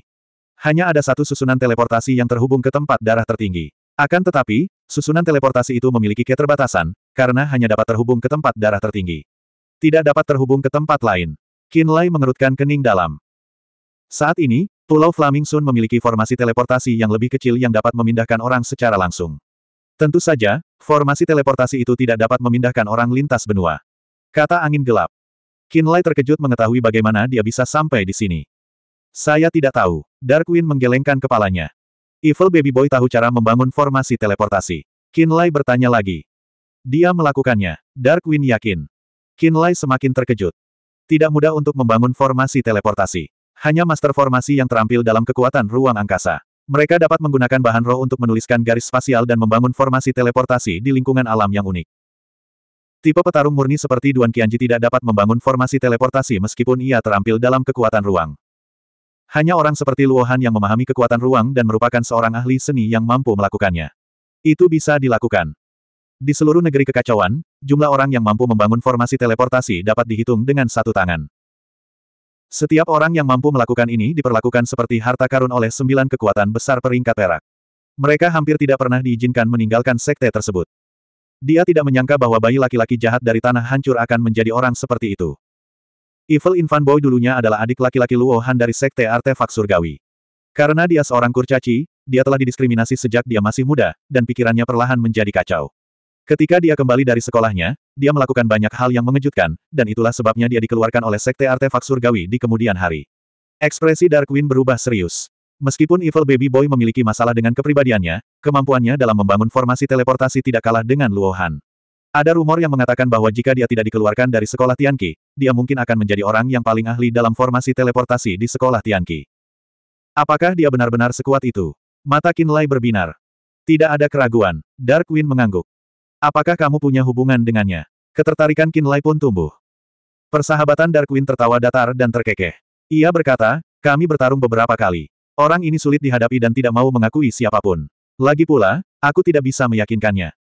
Berhenti sejenak, Dark Queen berkata, aku tidak tahu mengapa Limu menyuruhmu memohon padanya. Menurutku, tidak mungkin kau bisa meminta bantuannya. Bagaimana situasi di negeri kekacauan saat ini? Sangat buruk. Mengapa itu buruk? Di benua Prism, ras asing itu tenang-tenang saja. Mungkin mereka takut dengan Terminator leluhur terakhir kali dan tidak terus membuat masalah. Dark Queen mengerutkan kening dalam-dalam. Dia mendengar bahwa ras asing menemukan bahwa mereka tidak dapat menembus garis pertahanan Sekte Terminator di benua Prism dan secara bertahap bergerak. Ras asing yang seharusnya ada di sana terbagi menjadi dua kelompok dan menyerang benua bencana surgawi dan benua pembantaian surgawi. Tiga keluarga besar benua bencana surgawi, dengan bantuan kultus penyihir hitam, bertempur melawan ras-ras asing. Meskipun mereka masih bisa bertahan, mereka menderita kerugian besar. Benua pembantaian surgawi bahkan lebih buruk. Ras asing yang dipimpin oleh ras hantu biru hanya menargetkan wilayah di bawah Sekte Iblis Ilusi. Sekte Iblis Ilusi dan kultus penyihir hitam tidak berhubungan baik sejak awal. Kultus penyihir hitam juga telah mengirim para ahli ke benua bencana surgawi untuk memadamkan api. Tentu saja, mereka tidak akan memperhatikan Sekte Iblis Ilusi. Sekte Iblis Ilusi dipenuhi dengan konflik internal. Di luar, mereka tampaknya telah menyinggung keempat kekuatan di benua Prisma. Singkatnya, mereka diganggu oleh ras asing. Darkwing menjelaskan situasi dunia terkini. Oh, Bagus. Kinlay tiba-tiba merasa sedikit sadenfrude.